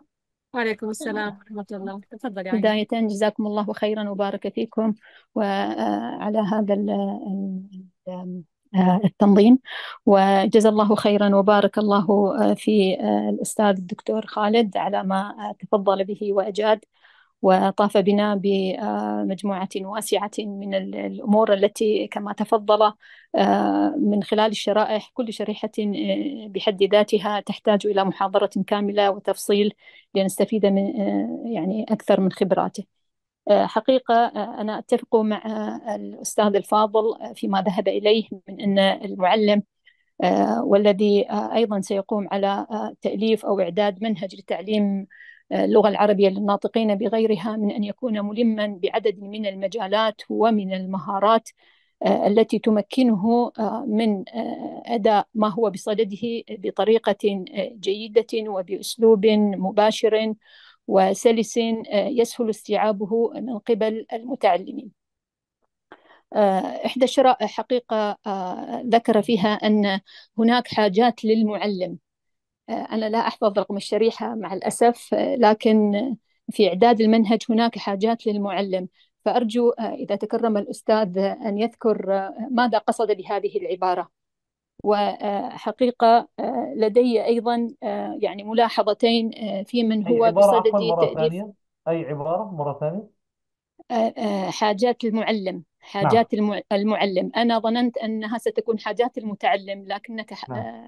حضرتك ذكرت بأنها حاجات المعلم على نعم. أن تلبي أو يلبي المنهج حاجات المعلم.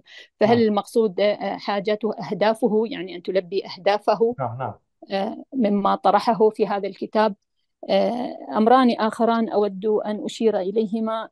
في البداية الأمر الأول يتعلق في الموضوعات التي يتم طرحها في المنهج.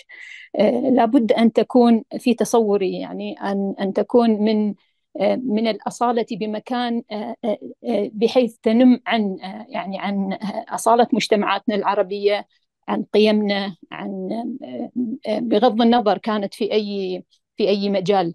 لكن على على المؤلف أو المعد لهذا المنهج أن يتناول قيمنا الأصيلة بحيث تطرح بطريقة واضحة وأصيلة للمتعلم. هذا أمر. الأمر الآخر متعلق بالمفردات المستخدمة بالألفاظ.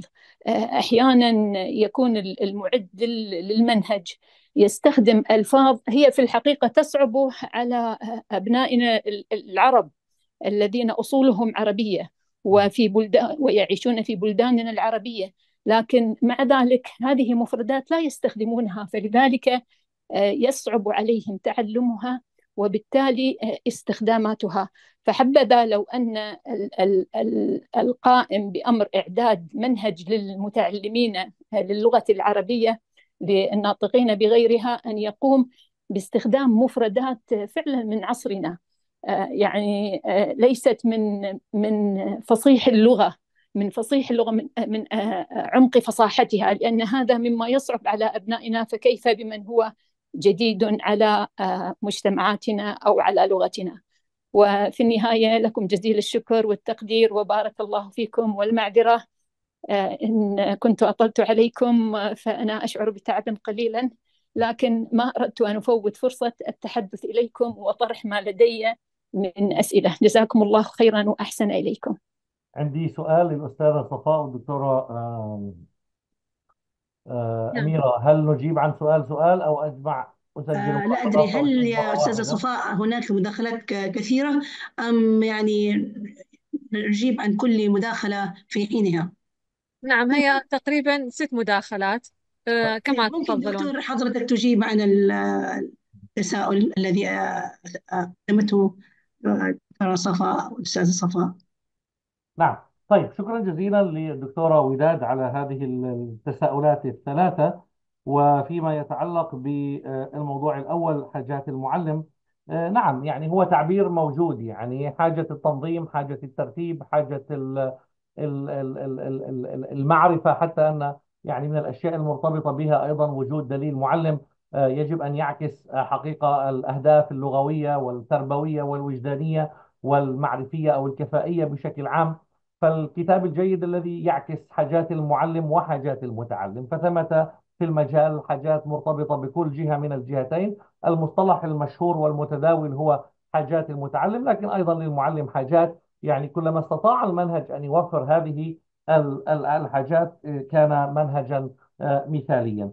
بالنسبة للموضوعات آه، أنها يجب أن تعكس المجتمعات والقيم الأصيلة لا شك وبالعكس يعني كل ما لم أقل أي شيء يخالف هذا بل بالعكس. حين تحدثت عن عن ال- ال- المهارات والعناصر قلت بأن بعض الأشخاص يضيفون المهارة الخامسة وهي الثقافة والثقافة هي الثقافة المحلية العربية والإسلامية والتي يجب أن تنعكس وأنا أدعو وكما قلت في منظومة المدى والتتابع أن يكون عندنا مصفوفة مدى وتتابع للثقافة العربية الإسلامية. كيف يجب أن تقدم منذ المستوى الأول؟ عفوا منذ المستوى الأول نعم إلى المستوى المتميز. وحتى أن ال five Cs معايير الجاهزية الأمريكية التي نعتمد عليها يوجد شيء فيها اسمه cultures و societies الثقافة والمجتمعات. كيف يمكن أن ندمجها في اللغة؟ لأنه لا لغة بدون ثقافة ولا ثقافة بدون لغة وبالتالي هما عنصران أساسيان ويجب أن يكونا موجودين بشكل عام. وفيما يتعلق بالمفردات أتفق معك تماما. لذلك أشرت آه، إلى دراسة دكتورنا المرحوم رشدي طعيمة. الذي وجد أن المفردات المشتركة بين سلاسل تعليم العربية حتى وقته كانت 30% وكانت 70% آه، من المفردات من الكتب التي تستهدف نفس المستوى مختلفة. وأذكر أنني كنت في أحد الصفوف ووجدته يدرس كلمة اندثر كان يدرس الأوزان وكان يريد أن يدرس الوزن السابع فقال له اندثر قلت له يا رجل والله أنا يعني آه، أدرس وأعلم وأدير برامج والله لم أستخدمها منذ خمس سنوات. فما حاجة طالب مستوى مبتدئ بهذه الكلمة؟ فبالتالي لا نحتاجها. قال ما وجدت كلمة إلا فماذا عن انكسر يعني كلمة وظيفية يومية كذا. ولذلك هي وظيفة المعلم وظيفة المنهج وظيفة آه، كل الأشخاص متعاضدين أن يقدموا. ولذلك نحن بحاجة أن نراجع شيء اسمه الكلمات الشائعة أو الوظيفية في وضع المناهج. شكرا لك دكتورة وداد مرة ثانية. أستاذة صفاء قبل أن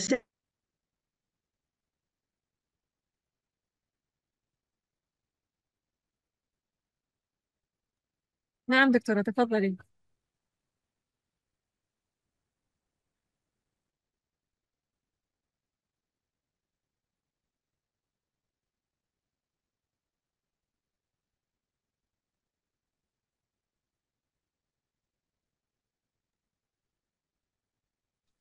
دكتور دكتورة تفضل أميرة تفضلي اكملي نعم. آه، حساب القرآن الكريم ممكن آه، فتح المايك تفضل.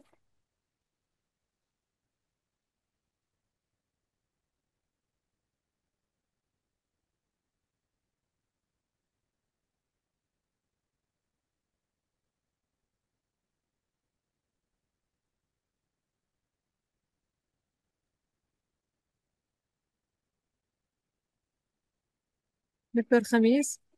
تفضل دكتور.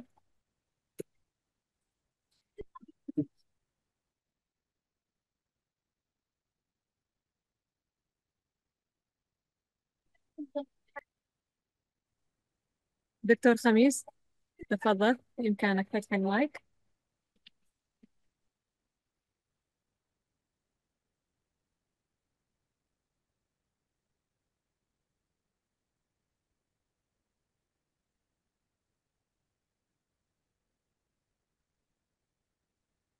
مداخلة أم سر تفضلي أم سر حساب أم سر نعم. السلام عليكم. وعليكم وعليكم السلام السلام. ورحمة الله. أشكر للدكتور خالد حسين أبو عمشة. جزاه الله خير عنا هذا التقديم الماتع الرائع الذي عهدناه دائما في محاضراته وفي كل ما يعني أتاح الله لنا أن أن نلتقي به. جزاه الله خير عنا. سؤالي عن الشكوى. يعني الشكوى التي تأتينا بعد انتقال طلابنا من برنامج الإعداد اللغوي إلى الكليات.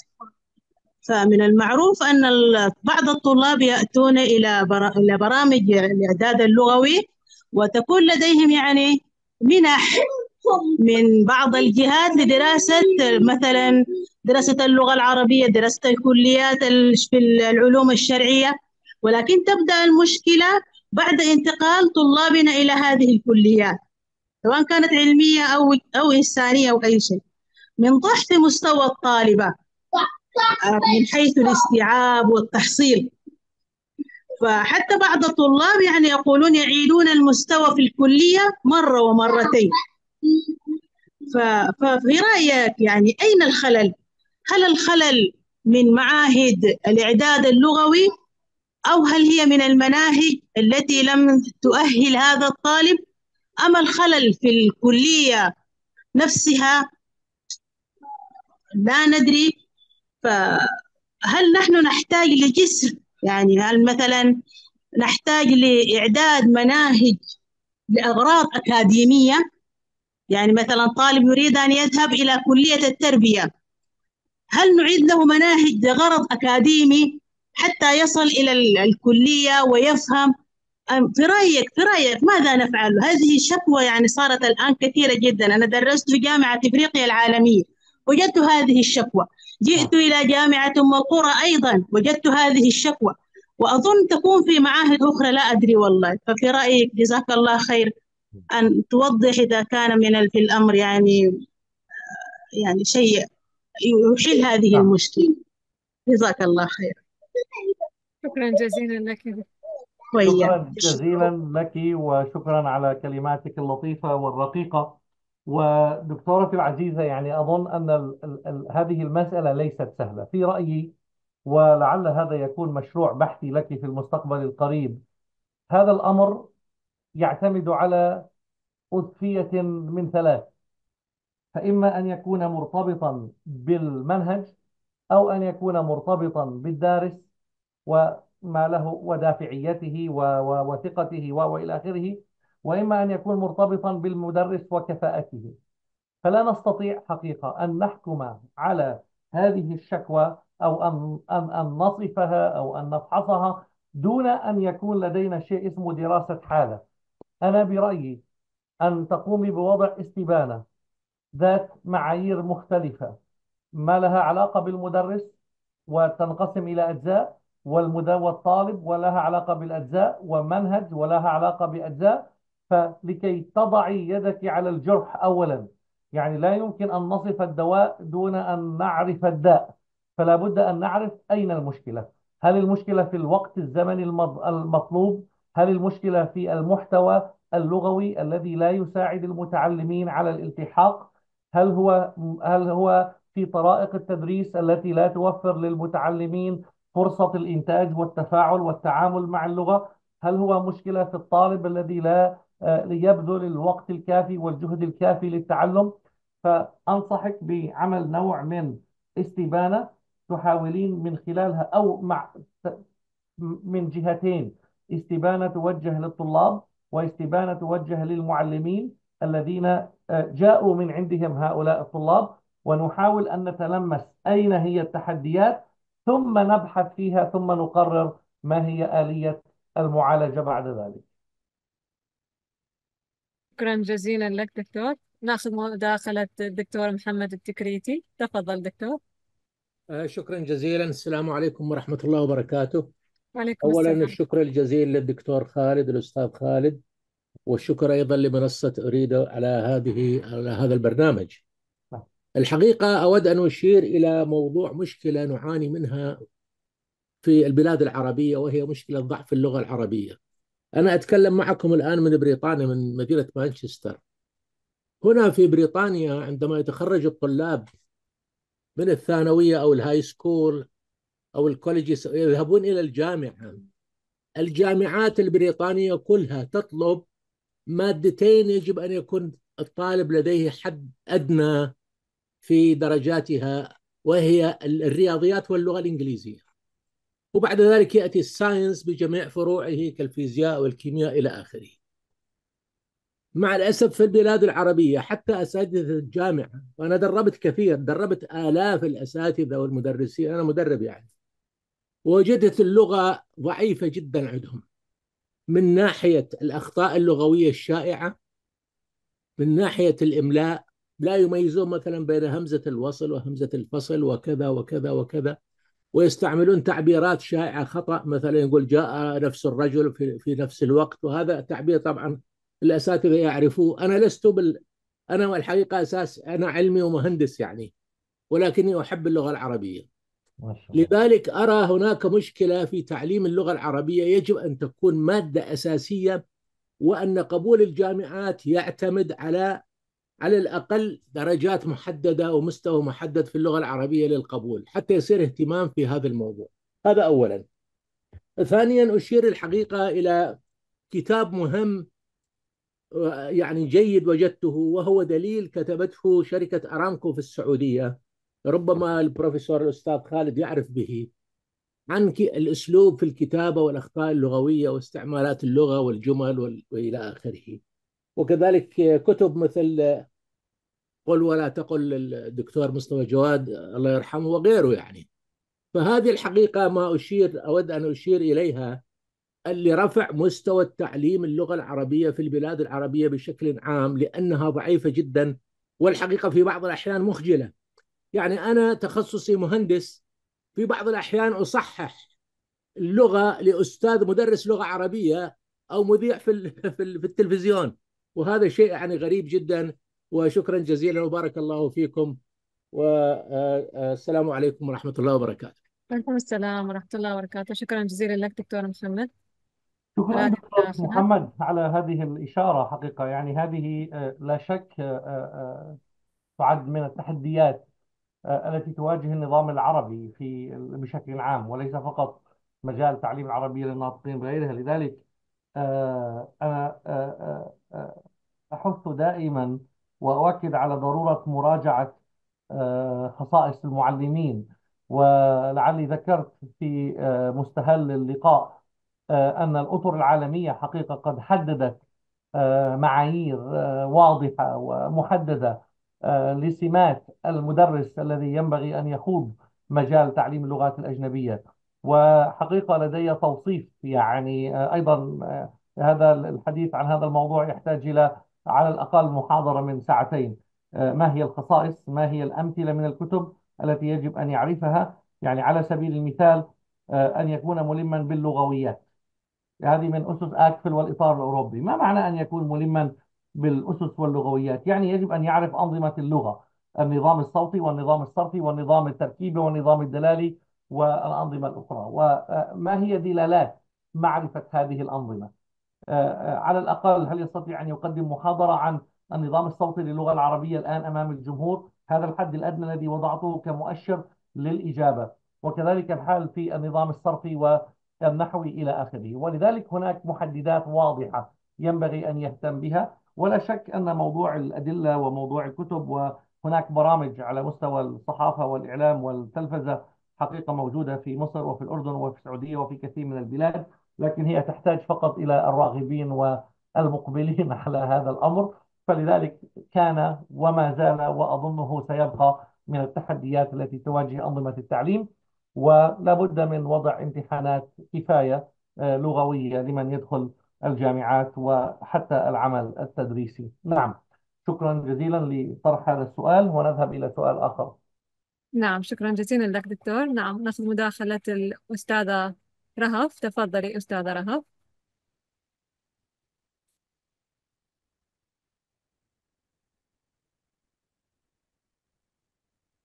بإمكانك الضغط على علامة المايك فتح المايك. نعم. السلام عليكم ورحمة الله وبركاته. عليكم السلام ورحمة الله وبركاته.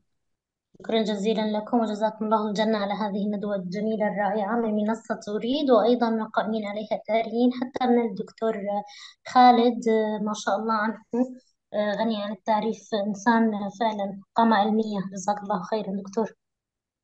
طبعا. لو سمحتم أنا أريد فقط أن أطرح بعض الأسئلة. أولها متى يتوقف المعلم؟ عن استخدام لغة رسمية أو لغة وسيطة مع الناطقين بغير العربية. طبعا لغة رسمية نحن نعرف أغلب البلدان هي الإنجليزية. هذا نعم السؤال الأول. نعم. السؤال الثاني دكتور لو سمحت بالنسبة لاستخدامنا استخدام الطالب لمعاجم. يعني أحيانا معجم من العربية إلى لغته هل هذا يكون مع المتعلمين في الفئات العمرية؟ يعني من الصف الأول مثلا. طبعا أكيد صف أول لا يوجد. مثلا الثانوية الإعدادية أو فقط لأغراض خاصة. وما هي أفضل المعاجم في مثل هذه الحالة؟ يعني أفضل معجم مثلا ممكن أن نشير للمتعلم عليه أو إذا كان إلكتروني مثلا يستخدمون أحد المترجمات أنا لا نعم. أعلم. نعم. تماما. آه، نعم تفضل. خلاص؟ تمام. شكرا لك على شكرا هذين جزيلا. نعم السؤالين.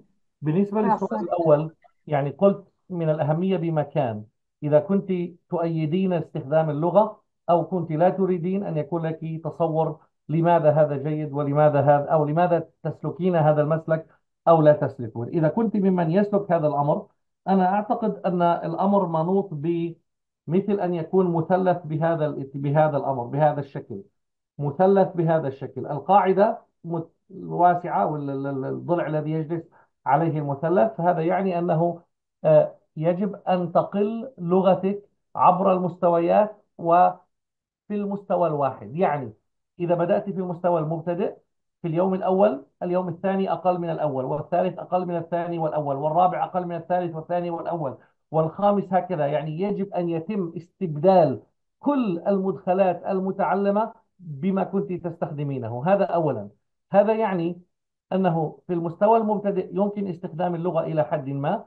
في ظني في المستوى المتوسط بحسب أكفل أو البي 1 بحسب الإطار الأوروبي يجب أن تبدأ هذه اللغة بالاختفاء. لماذا؟ لأنك بقدراتك ومهاراتك قادرة على أن تقدم اللغة بدونها والطالب يستطيع أن يتعامل باللغة التي لديه بدون لغة وسيطة. هذا بالنسبة لتجربتي وأبحاثي. المسألة الثانية المعجم. نعم إذا كنا نتعلم عن تعليم الكبار بالعكس المعجم له يعني يجب أن يكون رفيقا ولكن يجب أن أعرف متى يستخدم ومتى لا يستخدم. في القراءة التحليلية يستخدم في القراءة التخمينية ممنوع استخدامه. يعني هناك مواقف أشجع على استخدامها وهناك مواقف لا أشجعه وهذا حديث يطول. ومن المعاجم المهمة التي يمكن استخدامها أنا أشجع استخدام نظرية الأوزان العشرة ومن أفضل الكتب التي وظفت هذا الموضوع معجم لمتحدثي اللغة الإنجليزية والألمانية وبعض اللغات الأخرى التي ترجم المعجم إليها معجم هانزفير وبالنسبة لطلاب المستوى المتقدم أنصح باستخدام المعاجم التاريخية كمعجم الدوحة ومعجم الشارقة والمعجم الوسيط أيضا فلماذا؟ لأنها توفر سياقات حقيقية وللمفردات والمعاجم تعتبر أداة مهمة من أدوات اكتساب اللغة لكن يبقى السؤال متى؟ وحقيقة يجب أيضا أن تقوم المناهج. موضوع حديثنا اليوم أن, أن, أن, أن تكون واضحة وصريحة في توظيف المعاجم في التدريبات. شكرا جزيلا لك دكتور. نعم تفضلي الأخت أشواق بإمكانك الضغط لفتح المايك.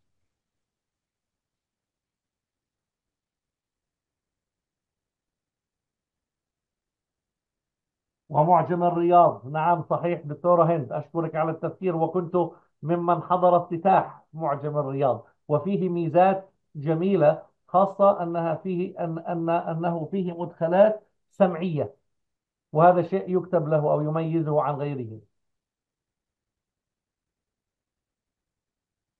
نعم أخت أشواق. أعطيتكم الصلاحية بإمكانك فتح المايك. لطرح المداخلة. تفضلي.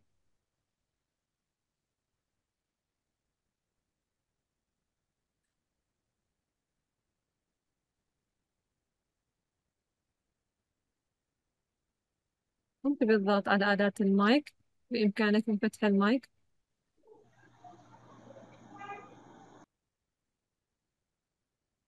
نعم. أخت دانية تفضلي. نعم السلام عليكم. أسعد الله مساءكم جميعا. جزاكم الله خيرا. دكتور خالد والقائمين على هذا البرنامج المفيد. أم، سؤالي حقيقة في نقطة واحدة محددة سأدخل مباشرة. كما تفضل الدكتور مهارة الاستماع من المهارات المظلومة إن صح التعبير أه، في مناهج في إعداد مناهج تعليم اللغة العربية للناطقين بغيرها. لا أعرف هل ينصحنا الدكتور بسلسلة معينة تعتني بهذه المهارة؟ وطبعا إذا ذكرنا ال- الاستماع نذكر المحادثة. ما هي السلاسل التي ينصحنا بها؟ ما هي المراجع التي نستعين بها؟ لإعداد مادة تدريسية تركز على هذه المهارة. وشكرا جزيلا لكم. شكرا شكرا جزيلا. جزيلا لك وأنصحك حقيقة لا يوجد آه، آه، آه، لا لا لا أذكر- لا أستطيع أن أستدعي سلسلة تستهدف الاستماع. مباشرة لكن هناك موقع لطيف جميل يغطي حاجتك وزيادة كمعلمة لكل المستويات. هذا الموقع قدمه أستاذنا الكبير الدكتور محمود البطل وهو آه، في أثناء عمله في جامعة تكساس. اسم الموقع أصوات عربية. إذا ذهبت إلى جوجل وكتبت بالعربية أو بالإنجليزية أصوات عربية. قدم مجموعة كبيرة من الفيديوهات وبعضها عليها تدريبات وجاهزة. وللمستوى مقسمة بحسب معايير أكفل للمستوى المبتدئ والمتوسط والمتقدم والمتميز. أنصح وأستخدمها شخصيا وأنصح الكل باستخدامها. بالنسبة للمحادثة أنصحك بكتاب للعبد الفقير ويغطي المستويات كلها أيضا. المستوى المبتدئ والمتوسط والمتقدم بحسب معايير أكفل وهذا الكتاب اسمه دليل الشراكة اللغوية ويوجد منه نسخة مجانا على الشابكة. على موقع أكاديميا على حسابي على أكاديميا وعلى موقع اتحاد معلمي العربية منشور مجانا اسمه دليل الشراكة اللغوية وهذان آه، يجيبان عن تساؤلك. ولعل المشكلة مع أشواق أنك دخلت من حسابين ولعل الأستاذة صفا تعطيك على حساب وليس على الآخر. فشيكي على الاسمين أنت دخلت من اسمين. نعم.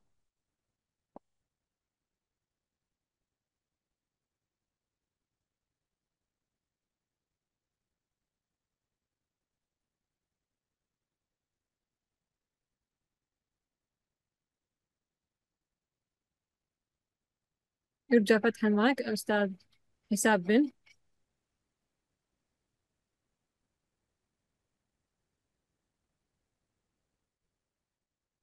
السلام عليكم ورحمة الله. وعليكم السلام. شكرا دكتور على المحاضرة القيمة. الشكر موصول كذلك للقائمين على المنصة. سؤالي يتعلق بتعليم قواعد النحو العربي للناطقين بغير اللغة العربية. فحقيقة تواجه أو يواجه متعلم اللغة العربية صعوبات كثيرة تتعلق أساسا بالمنهج المعتمد من واضعي الكتب الدراسية بالاعتماد على طرق تقليدية في تقديم القواعد أو قواعد اللغة العربية بشكل عام. نلاحظ اعتمادهم على ترسيمات أو جداول أو حشو حشو بالقواعد والمفردات الصعبة إلى غير ذلك مما يؤثر سلبا على متعلم هذه اللغة. فحرصا أو ما ينبغي أن يكون هو تحبيب المتعلم الأجنبي للغة العربية حتى يمكن أن يقبل عليها إقبالا جيدا. وباستحضار كل ما هو ممتع وبيداغوجية نشيطة إلى غير ذلك. إلا أن سؤالي باختصار أستاذ هل هناك طرق إبداعية تساعد في تعليم النحو العربي وقواعد اللغة العربية بطرق يسيرة وميسرة لمتعلمين أجانب. وشكرا لكم. شكرا آه، جزيلا دكتور. شكرا جزيلا على هذا السؤال الذي يحتاج إلى محاضرة أخرى تحت عنوان كيف ندرس القواعد بطريقة تواصلية بطريقة تفاعلية. واختصارا للوقت وليس من السهل أن أجيب في دقائق معدودات. قدمت آه، آه، بحثا في مؤتمر في تركيا آه، بعنوان القواعد التفاعلية. وقدمت فيها حقيقة نظرة تطبيقية بالمثال بالأمثلة. ولعلك يعني تعود إلى قناتي على اليوتيوب في وتبحث عن فيديو بعنوان القواعد التفاعلية. وسوف تجد الجواب هناك. نعم أنا أؤمن أنه يجب أن تقديم يجب تقديم القواعد بطريقة الحاجة أن تشعر الطلاب أولا بحاجتهم ثم أن يكون وقت الصف هو وقت إنتاج اللغة آه، من خلال توظيف موضوعات القواعد وليس الشروحات التي لن تساعد على اكتساب اللغة. هذا حديث عن اللغة وليس إنتاج اللغة. فلذلك يعني آه، وثمة حتى آه، قدمت بعض الألعاب كيف يمكن أن أن أن أن, أن نقدم القواعد بالألعاب وكيف لأن الألعاب تجعل الشخص ينتج اللغة بطريقة طبيعية بدون تفكير آه، بشكل عام. فهناك حقيقة وهناك كتاب أيضا صدر آه، مؤخرا بعنوان التنشيط أو التلعيب في مجال تعليم العربية للناطقين بغيرها ولي كتاب أيضا بعنوان 100 لعبة لغوية في تعليم العربية للناطقين بغيرها بالاشتراك مع الزميلة الدكتورة هبة شنيك. والكتاب آه، قدم ألعابا مختلفة لتدريس العناصر والقواعد والمهارات وفيها وفيه بعض الأفكار التي تساعد على آه، تفعيل اللغة أو تقديم القواعد بطريقة تفاعلية. شكرا جزيلا لك دكتور على هذه الإجابة. نعم تفضل دكتور خميس.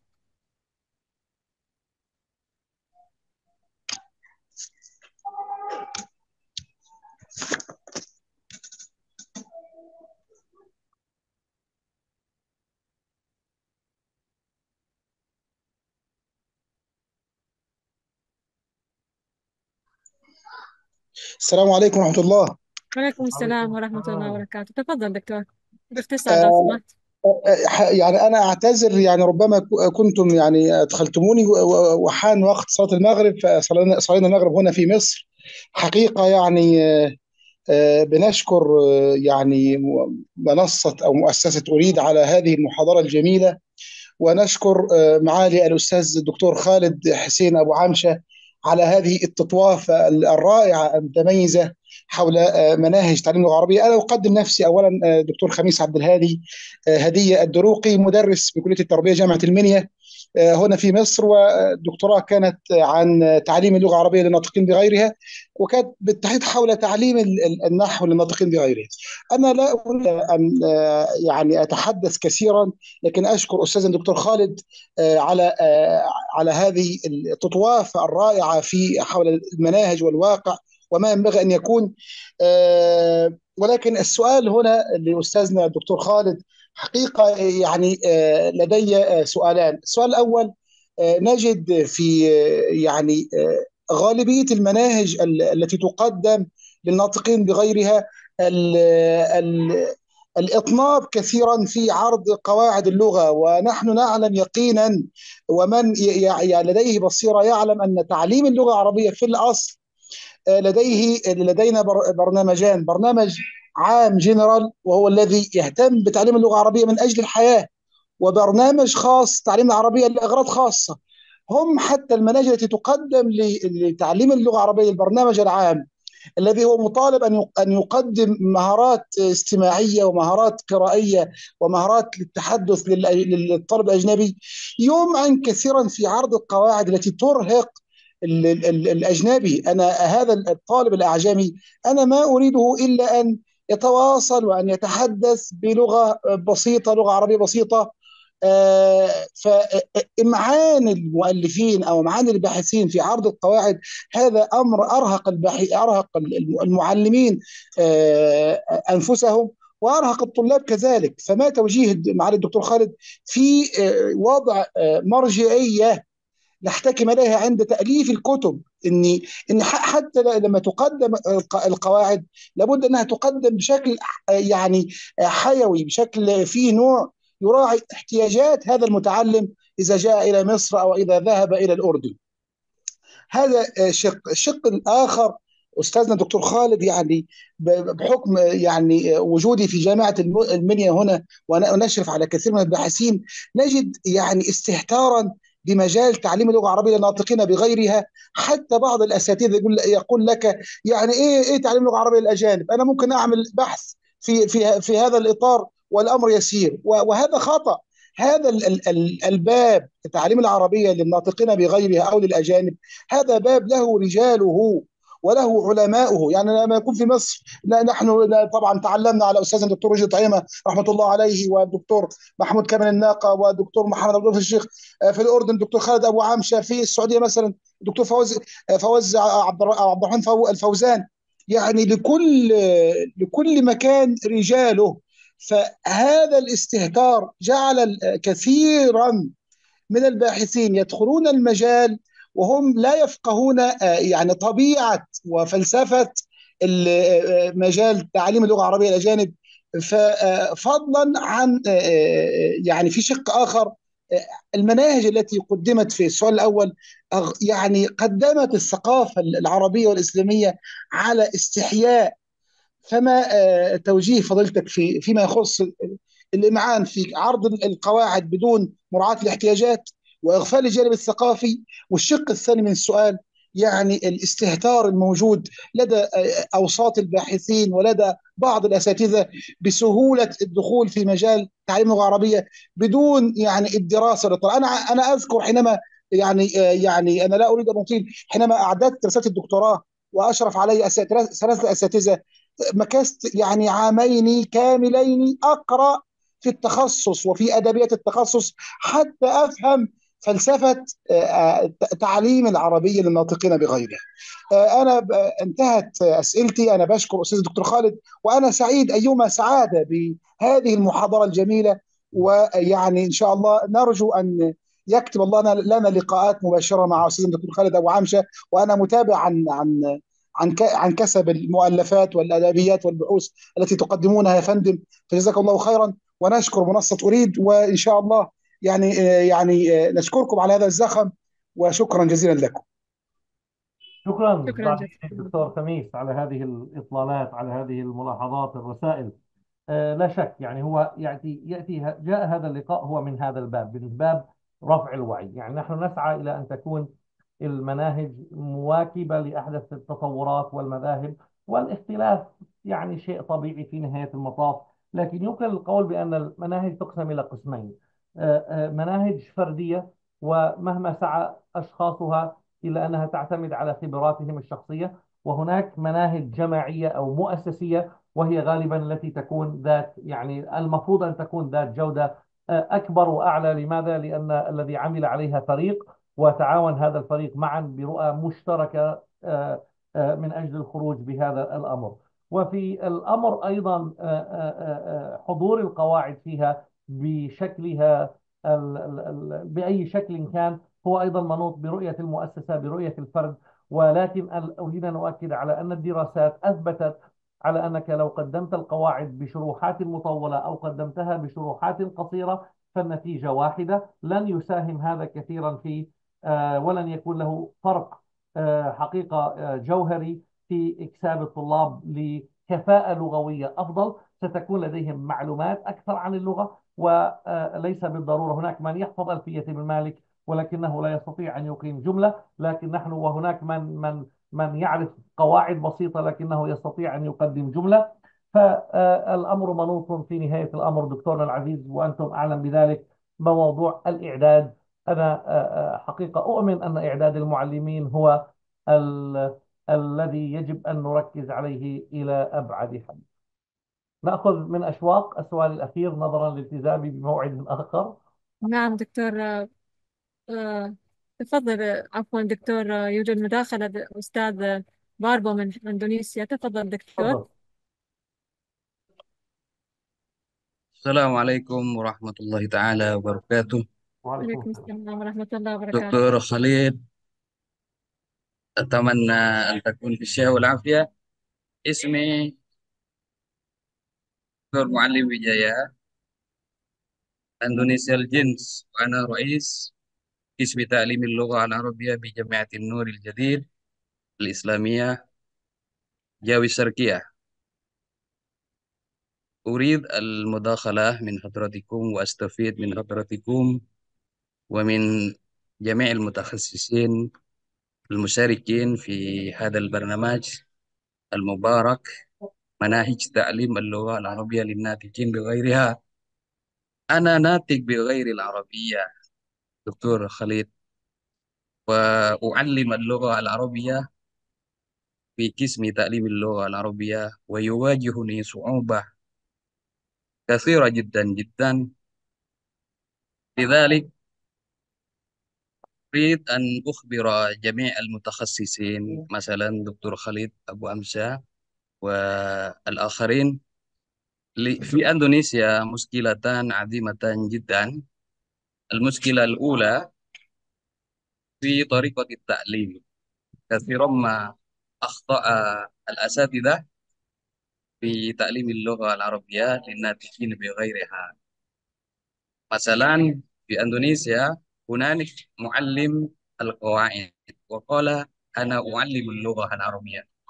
هنالك الفرق بين تعليم اللغة العربية وتعليم القواعد. الثانية ضعف همسة الطلاب. أنا تعلمت في هذا المجال في الليسانس في الماجستير في الدكتوراه أيضا. حتى أعددت لهم المواد التعليمية لمهارة الكلام. غير أن هنالك بعض الإخوة يرى أن مادة التي قدمت لطلابي من جانب يقول أن هذه المادة تعليم اللغة العربية لأغراض خاصة لأني بحثت عن أركان الإيمان وما إلى غير ذلك لماذا؟ لأني تأسست بأن اللغة العربية ليس تعليم اللغة العربية فحسب بل هي وعاء الفقه والدين. لذلك أرجو من المتخصصين العربيين أن يقدموا لنا المواد التعليمية هي لا تخلو من القرآن والحديث. كي لا نتعلم اللغة بقصد اللغة ك يعني العلمانية مثلا. حتى تغيب عنا صورة الإسلام وثقافة الإسلام.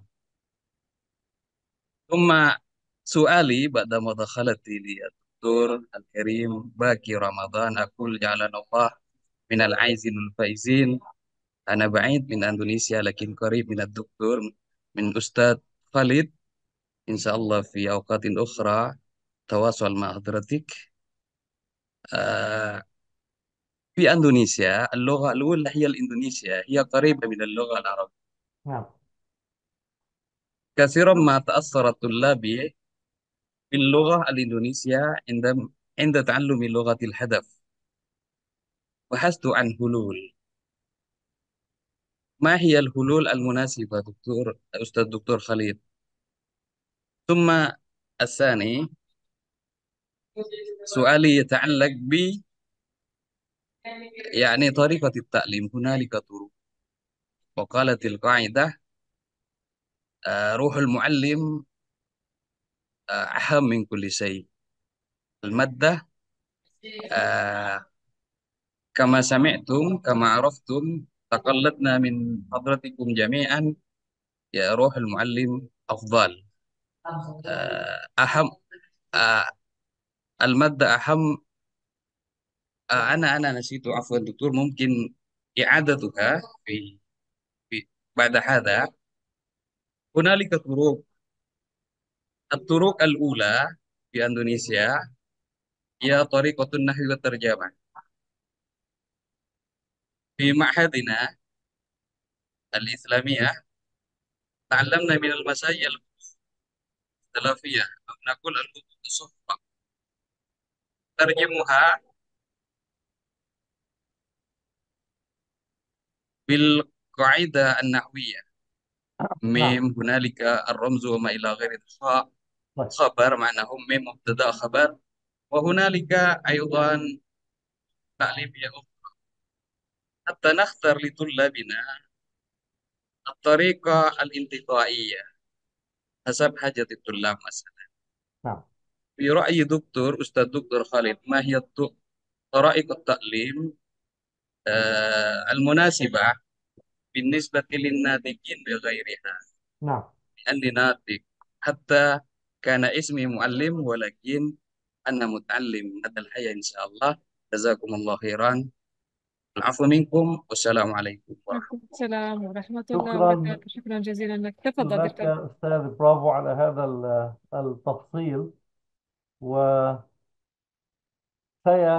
بولي شكب بهاسا ملايو سكت سكت حقيقة بدايتي في تعليم العربية للناطقين بغيرها بدأت من جنوب شرق آسيا وما زلت أشعر بالفضل والامتنان لجنوب شرق آسيا عموما وماليزيا خصوصا كوني تخصصت ودرست في مجال تعليم العربية للناطقين بغيرها من هناك.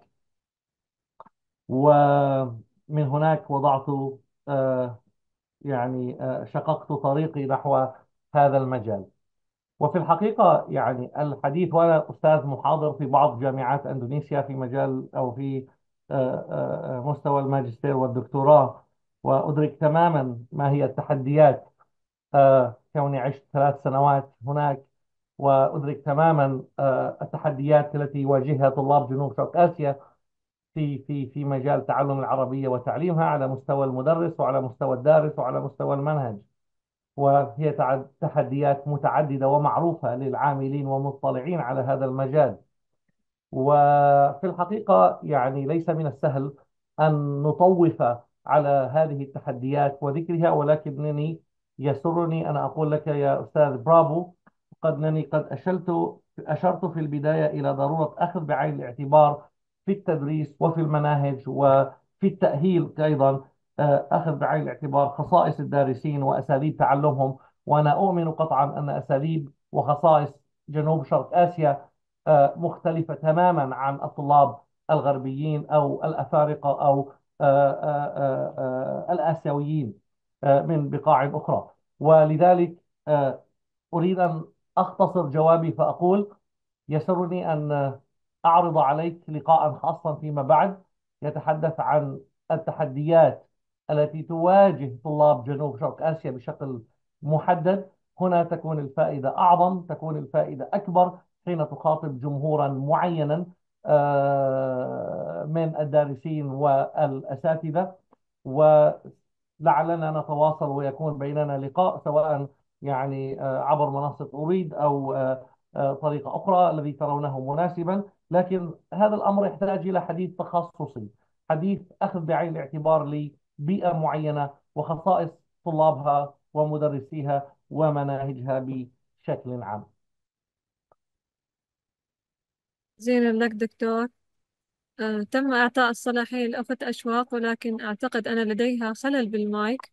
نعم. عدة مرات حاولت يعني بصراحة أفتح لها المايك ولكن أعتقد الخلل لديها. نعم. شكرا جزيلا لك دكتور على هذه الجهود الرائعة والإجابات القيمة. بارك الله فيكم. آه، حضورنا الكرام. نش- نشكركم على حسن آه، أستاذة الاستماع. صفاء نعم آه، تفضلي تسمحين دكتورة لي باختتام المحاضرة. آه، في الختام أتقدم بالشكر الجم والتقدير الأتم لسعادة الأستاذ الدكتور خالد أبو عمشة على تفضله بإلقاء المحاضرة وعلى تفضله وإكرامنا بالوقت الإضافي من وقت سعادته. كما يفوتني أن أتقدم بفيض الشكر والتقدير للحاضرين من أعضاء المنصة والباحثين والمشاركين بالحوار والمداخلات التي أسرت هذه المحاضرة. يسرنا أن نقدم ذكرى آه، متواضعة من منصة أريد هي شهادة تقدير لسعادة الأستاذ الدكتور خالد أبو عمشة. ونرجو الله أن تبقى أصلة فكره موصولة بين سعادته وبين منصة أريد العلمية. وفق الله الجهود وحقق المقصود. وهل هناك كلمة أخيرة تريد أن تقولها دكتور؟ أم آه، تفضل. كل الشكر والتقدير لك والأستاذة صفا ولكل الحاضرين الذين تجشموا عناء الحضور على مدار ساعتين ونصف تقريبا. فشكرا لكم جميعا. آه، وأتمنى أن أراكم في آه، آه، آه، لقاءات قادمة. والشكر الموصول أيضا لمنصة أريد متمنيا لها مزيدا من التقدم والازدهار. جزاكم الله خيرا. شكرنا آه، العاطر وتقديرنا الوافر لمنصة أريد أيضا ممثلة في مؤسسها ورئيس التنفيذي سعادة الأستاذ الدكتور سيف السويدي. والشكر آه، الجزيل لفريق الدعم اللوجستي والفني الذين رافقونا في الإعداد والتقديم والتصميم. والسلام عليكم ورحمة الله وبركاته. وعليكم السلام ورحمة الله وبركاته. كل الشكر والتقدير لكم سعادة الأستاذ الدكتور خالد حسين وسعادة الدكتورة أميرة سنبس. بارك الله بجهودكم جميعا. تقبل الله منكم صالح الأعمال ووفقنا الله وإياكم لما فيه الخير والهداية. نعم. أعزائي الحضور وصلنا معكم إلى الفقرة الأخيرة ونعتذر لإطالة بسبب كثرة المداخلات. ننت- ننتقل معكم لشرح فقرة كيفية تحميل الشهادة لهذه المحاضرة مع الأستاذ عدنان طلعتي. تفضل أستاذ عدنان معكم الصلاحية. شكرا شكرا أستاذة صفا بارك الله فيكم على هذه المجهودات الرائعة. كل الشكر موصول لسعادة الدكتور خالد أبو عمشة وأيضا سعادة البروف أميرة زبير سنبس على هذه المجهودات الرائعة وعلى هذه المحاضرة القيمة. نعم أحبتنا الكرام على عجال وذلك لضيق الوقت آه، سنقوم معكم بشرح طريقة الحصول على الشهادة. طبعا تم وضع رابط الشهادة والحضور في الشات آه، ولكن لمن أراد أن يستز... أن يستزيد فبإمكانه متابعة طريقة الشرح. أحبتنا الكرام عند الدخول إلى منصة البحث إلى آه، محرك البحث جوجل وكتابة منصة أريد تظهر لنا بالصورة الواضحة أمامكم. وبالنسبة للأعضاء المسجلين في المنصة فب- فبمجرد الضغط على تسجيل الدخول آه، ينتقل مباشرة إلى الصفحة الرئيسية للمنصة. آه، ومن لم يكن مسجلا بعد في المنصة فبإمكانه الضغط على تسجيل حساب جديد من أعلى الزاوية اليسرى للشاشة. فيتطلب الأمر بعض معلومات سهلة جدا بإمكانه خلال عشر ثوان أن يصبح عضوا في المنصة والمعلومات هي فقط الاسم باللغة العربية وكذلك الإنجليزية وبريد إلكتروني فعال وكلمة مرور وتأكيدها واختيار الدولة التي نحن موجودون فيها ومن ثم الضغط على زر التسجيل. ننتقل ونصبح بهذا الأمر أعضاء بمنصة أريد ننتقل بعدها إلى الصفحة الرئيسية للمخ... عفوا للمنصة وما يسمى بالحائط. آه نأخذ من الطرف الأيمن للشاشة آه الدخول على أو الضغط على نظام عليم. من الطرف الأيمن للشاشة نضغط على نظام عليم. فندخل إلى الأقسام الخاصة بالنظام. نضغط على المحاضرات القادمة المحاضرات القائمة. نذهب بعدها مباشرة إلى جميع المحاضرات والدورات التدريبية والورش التي تقدمها منصة أريد العلمية. ننزل بعض الشيء إلى الأسفل فنجد المحاضرة التي نحن بصددها مناهج تعليم اللغة العربية للناطقين بغيرها مفهومها وأنواعها. نقوم بالضغط على على الرابط فننتقل مباشرة إلى الصفحة الخاصة بها وتشاهدونها بالصورة الواضحة أمامكم. نضغط على إصدار الشهادة باللغة العربية أو باللغة الإنجليزية. ننتقل بعدها إلى الصفحة الخاصة بالتحميل. فنقوم بالضغط على تحميل الشهادة الإلكترونية ويتطلب الأمر منا رسوما رمزية قدرها خمسة دولار فقط وذلك لاستمرارية وإدامة المنصة. أما بالنسبة للأعضاء الذين يمتلكون العضوية الاحترافية فجميع الشهادات يمكنهم الحصول عليها مجانا. نضغط على زر تحميل الشهادة الإلكترونية أو باللغة الإنجليزية PDF digital فنتحول مباشر أو فتظهر أمامنا الشاشة الشهادة بالصورة الواضحة أمامكم. هذه الشهادة بالنسبة للغة العربية وهذه بالنسبة للغة الإنجليزية. أما لمن يسأل عن طريقة التعبئة الرصيد فبإمكانه الضغط على علامة الزائد من الشاشة من أعلى الشاشة الطرف الأيسر يوجد علامة الزائد. نقوم بالضغط عليها فيجد طرق تعبئة الرصيد وهي عبر أعضاء أريد أو البطاقة الائتمانية أو شركاء الحوالات المالية التي توجد لكل دولة شريك للمنصة. وأيضا يوجد فيديو توضيحي خاص بطريقة تعبئة الرصيد. ننوه أيضا أحبتنا الكرام إلى أنه إن شاء الله سنقوم غدا برفع التسجيل للمحاضرة على قناتنا على اليوتيوب وقناتنا اسمها منصة أريد العلمية وتجدونها بهذا الشكل أو تشاهدونها بهذا الشكل وتشاهدون عليها جميع المحاضرات والندوات والفعاليات التي قدمت وإن شاء الله ستكون محاضرتنا موجودة غدا هنا. نعم أحبتنا الكرام إلى هنا وصلنا إلى ختام محاضرتنا. نسأل الله أن ينفع بهذا العلم وهذه المعلومات. وبارك الله بجهودكم والكلمة الختامية مع الأستاذة صفاء فلكم الصلاحية تفضلي دكتور الأستاذة صفاء. شكرا جزيلا لك أستاذ عدنان قلعشي على هذا الشرح التفصيلي الأكثر من رائع. بارك الله بجهودكم ووفقكم لكل خير. و كما عهدنا أن اللغة العربية من أجمل اللغات وأعرقها في التاريخ فهي لغة القرآن الكريم ولغة الشعر والأدب والعلم. وأهم ما يميز مناهج تعليم اللغة العربية أنها تفتح أبوابا واسعة لفهم الثقافة العربية والاندماج في المجتمعات الناطقة بالعربية والتراث العربي. لتنمية مهارات قدرات طلابنا في جميع جوانب اللغة سواء كانوا مبتدئين أو متقدمين وأيضا ستسهم في بناء جيل جديد من المتعلمين يحملون رؤية واعية للغة العربية ولنكتشف جمال وغنى اللغة العربية ونوصلها للعالم من حولنا. نشكركم جميعا على حسن الحضور والمشاركات القيمة التي أثرتم فيها جلستنا وندعوكم للاستفادة من المحاضرات القادمة لمنصة أريد الدولية. نلقاكم على كل خير. شكرا لكم جميعا. ونتمنى لكم مستقبلا مشرقا وباهرا. نختم بدعاء. سبحانك اللهم وبحمدك نشهد أن لا إله إلا أنت. نستغفرك ونتوب إليك. والسلام عليكم ورحمة الله تعالى وبركاته. شكرا جزيلا لكم.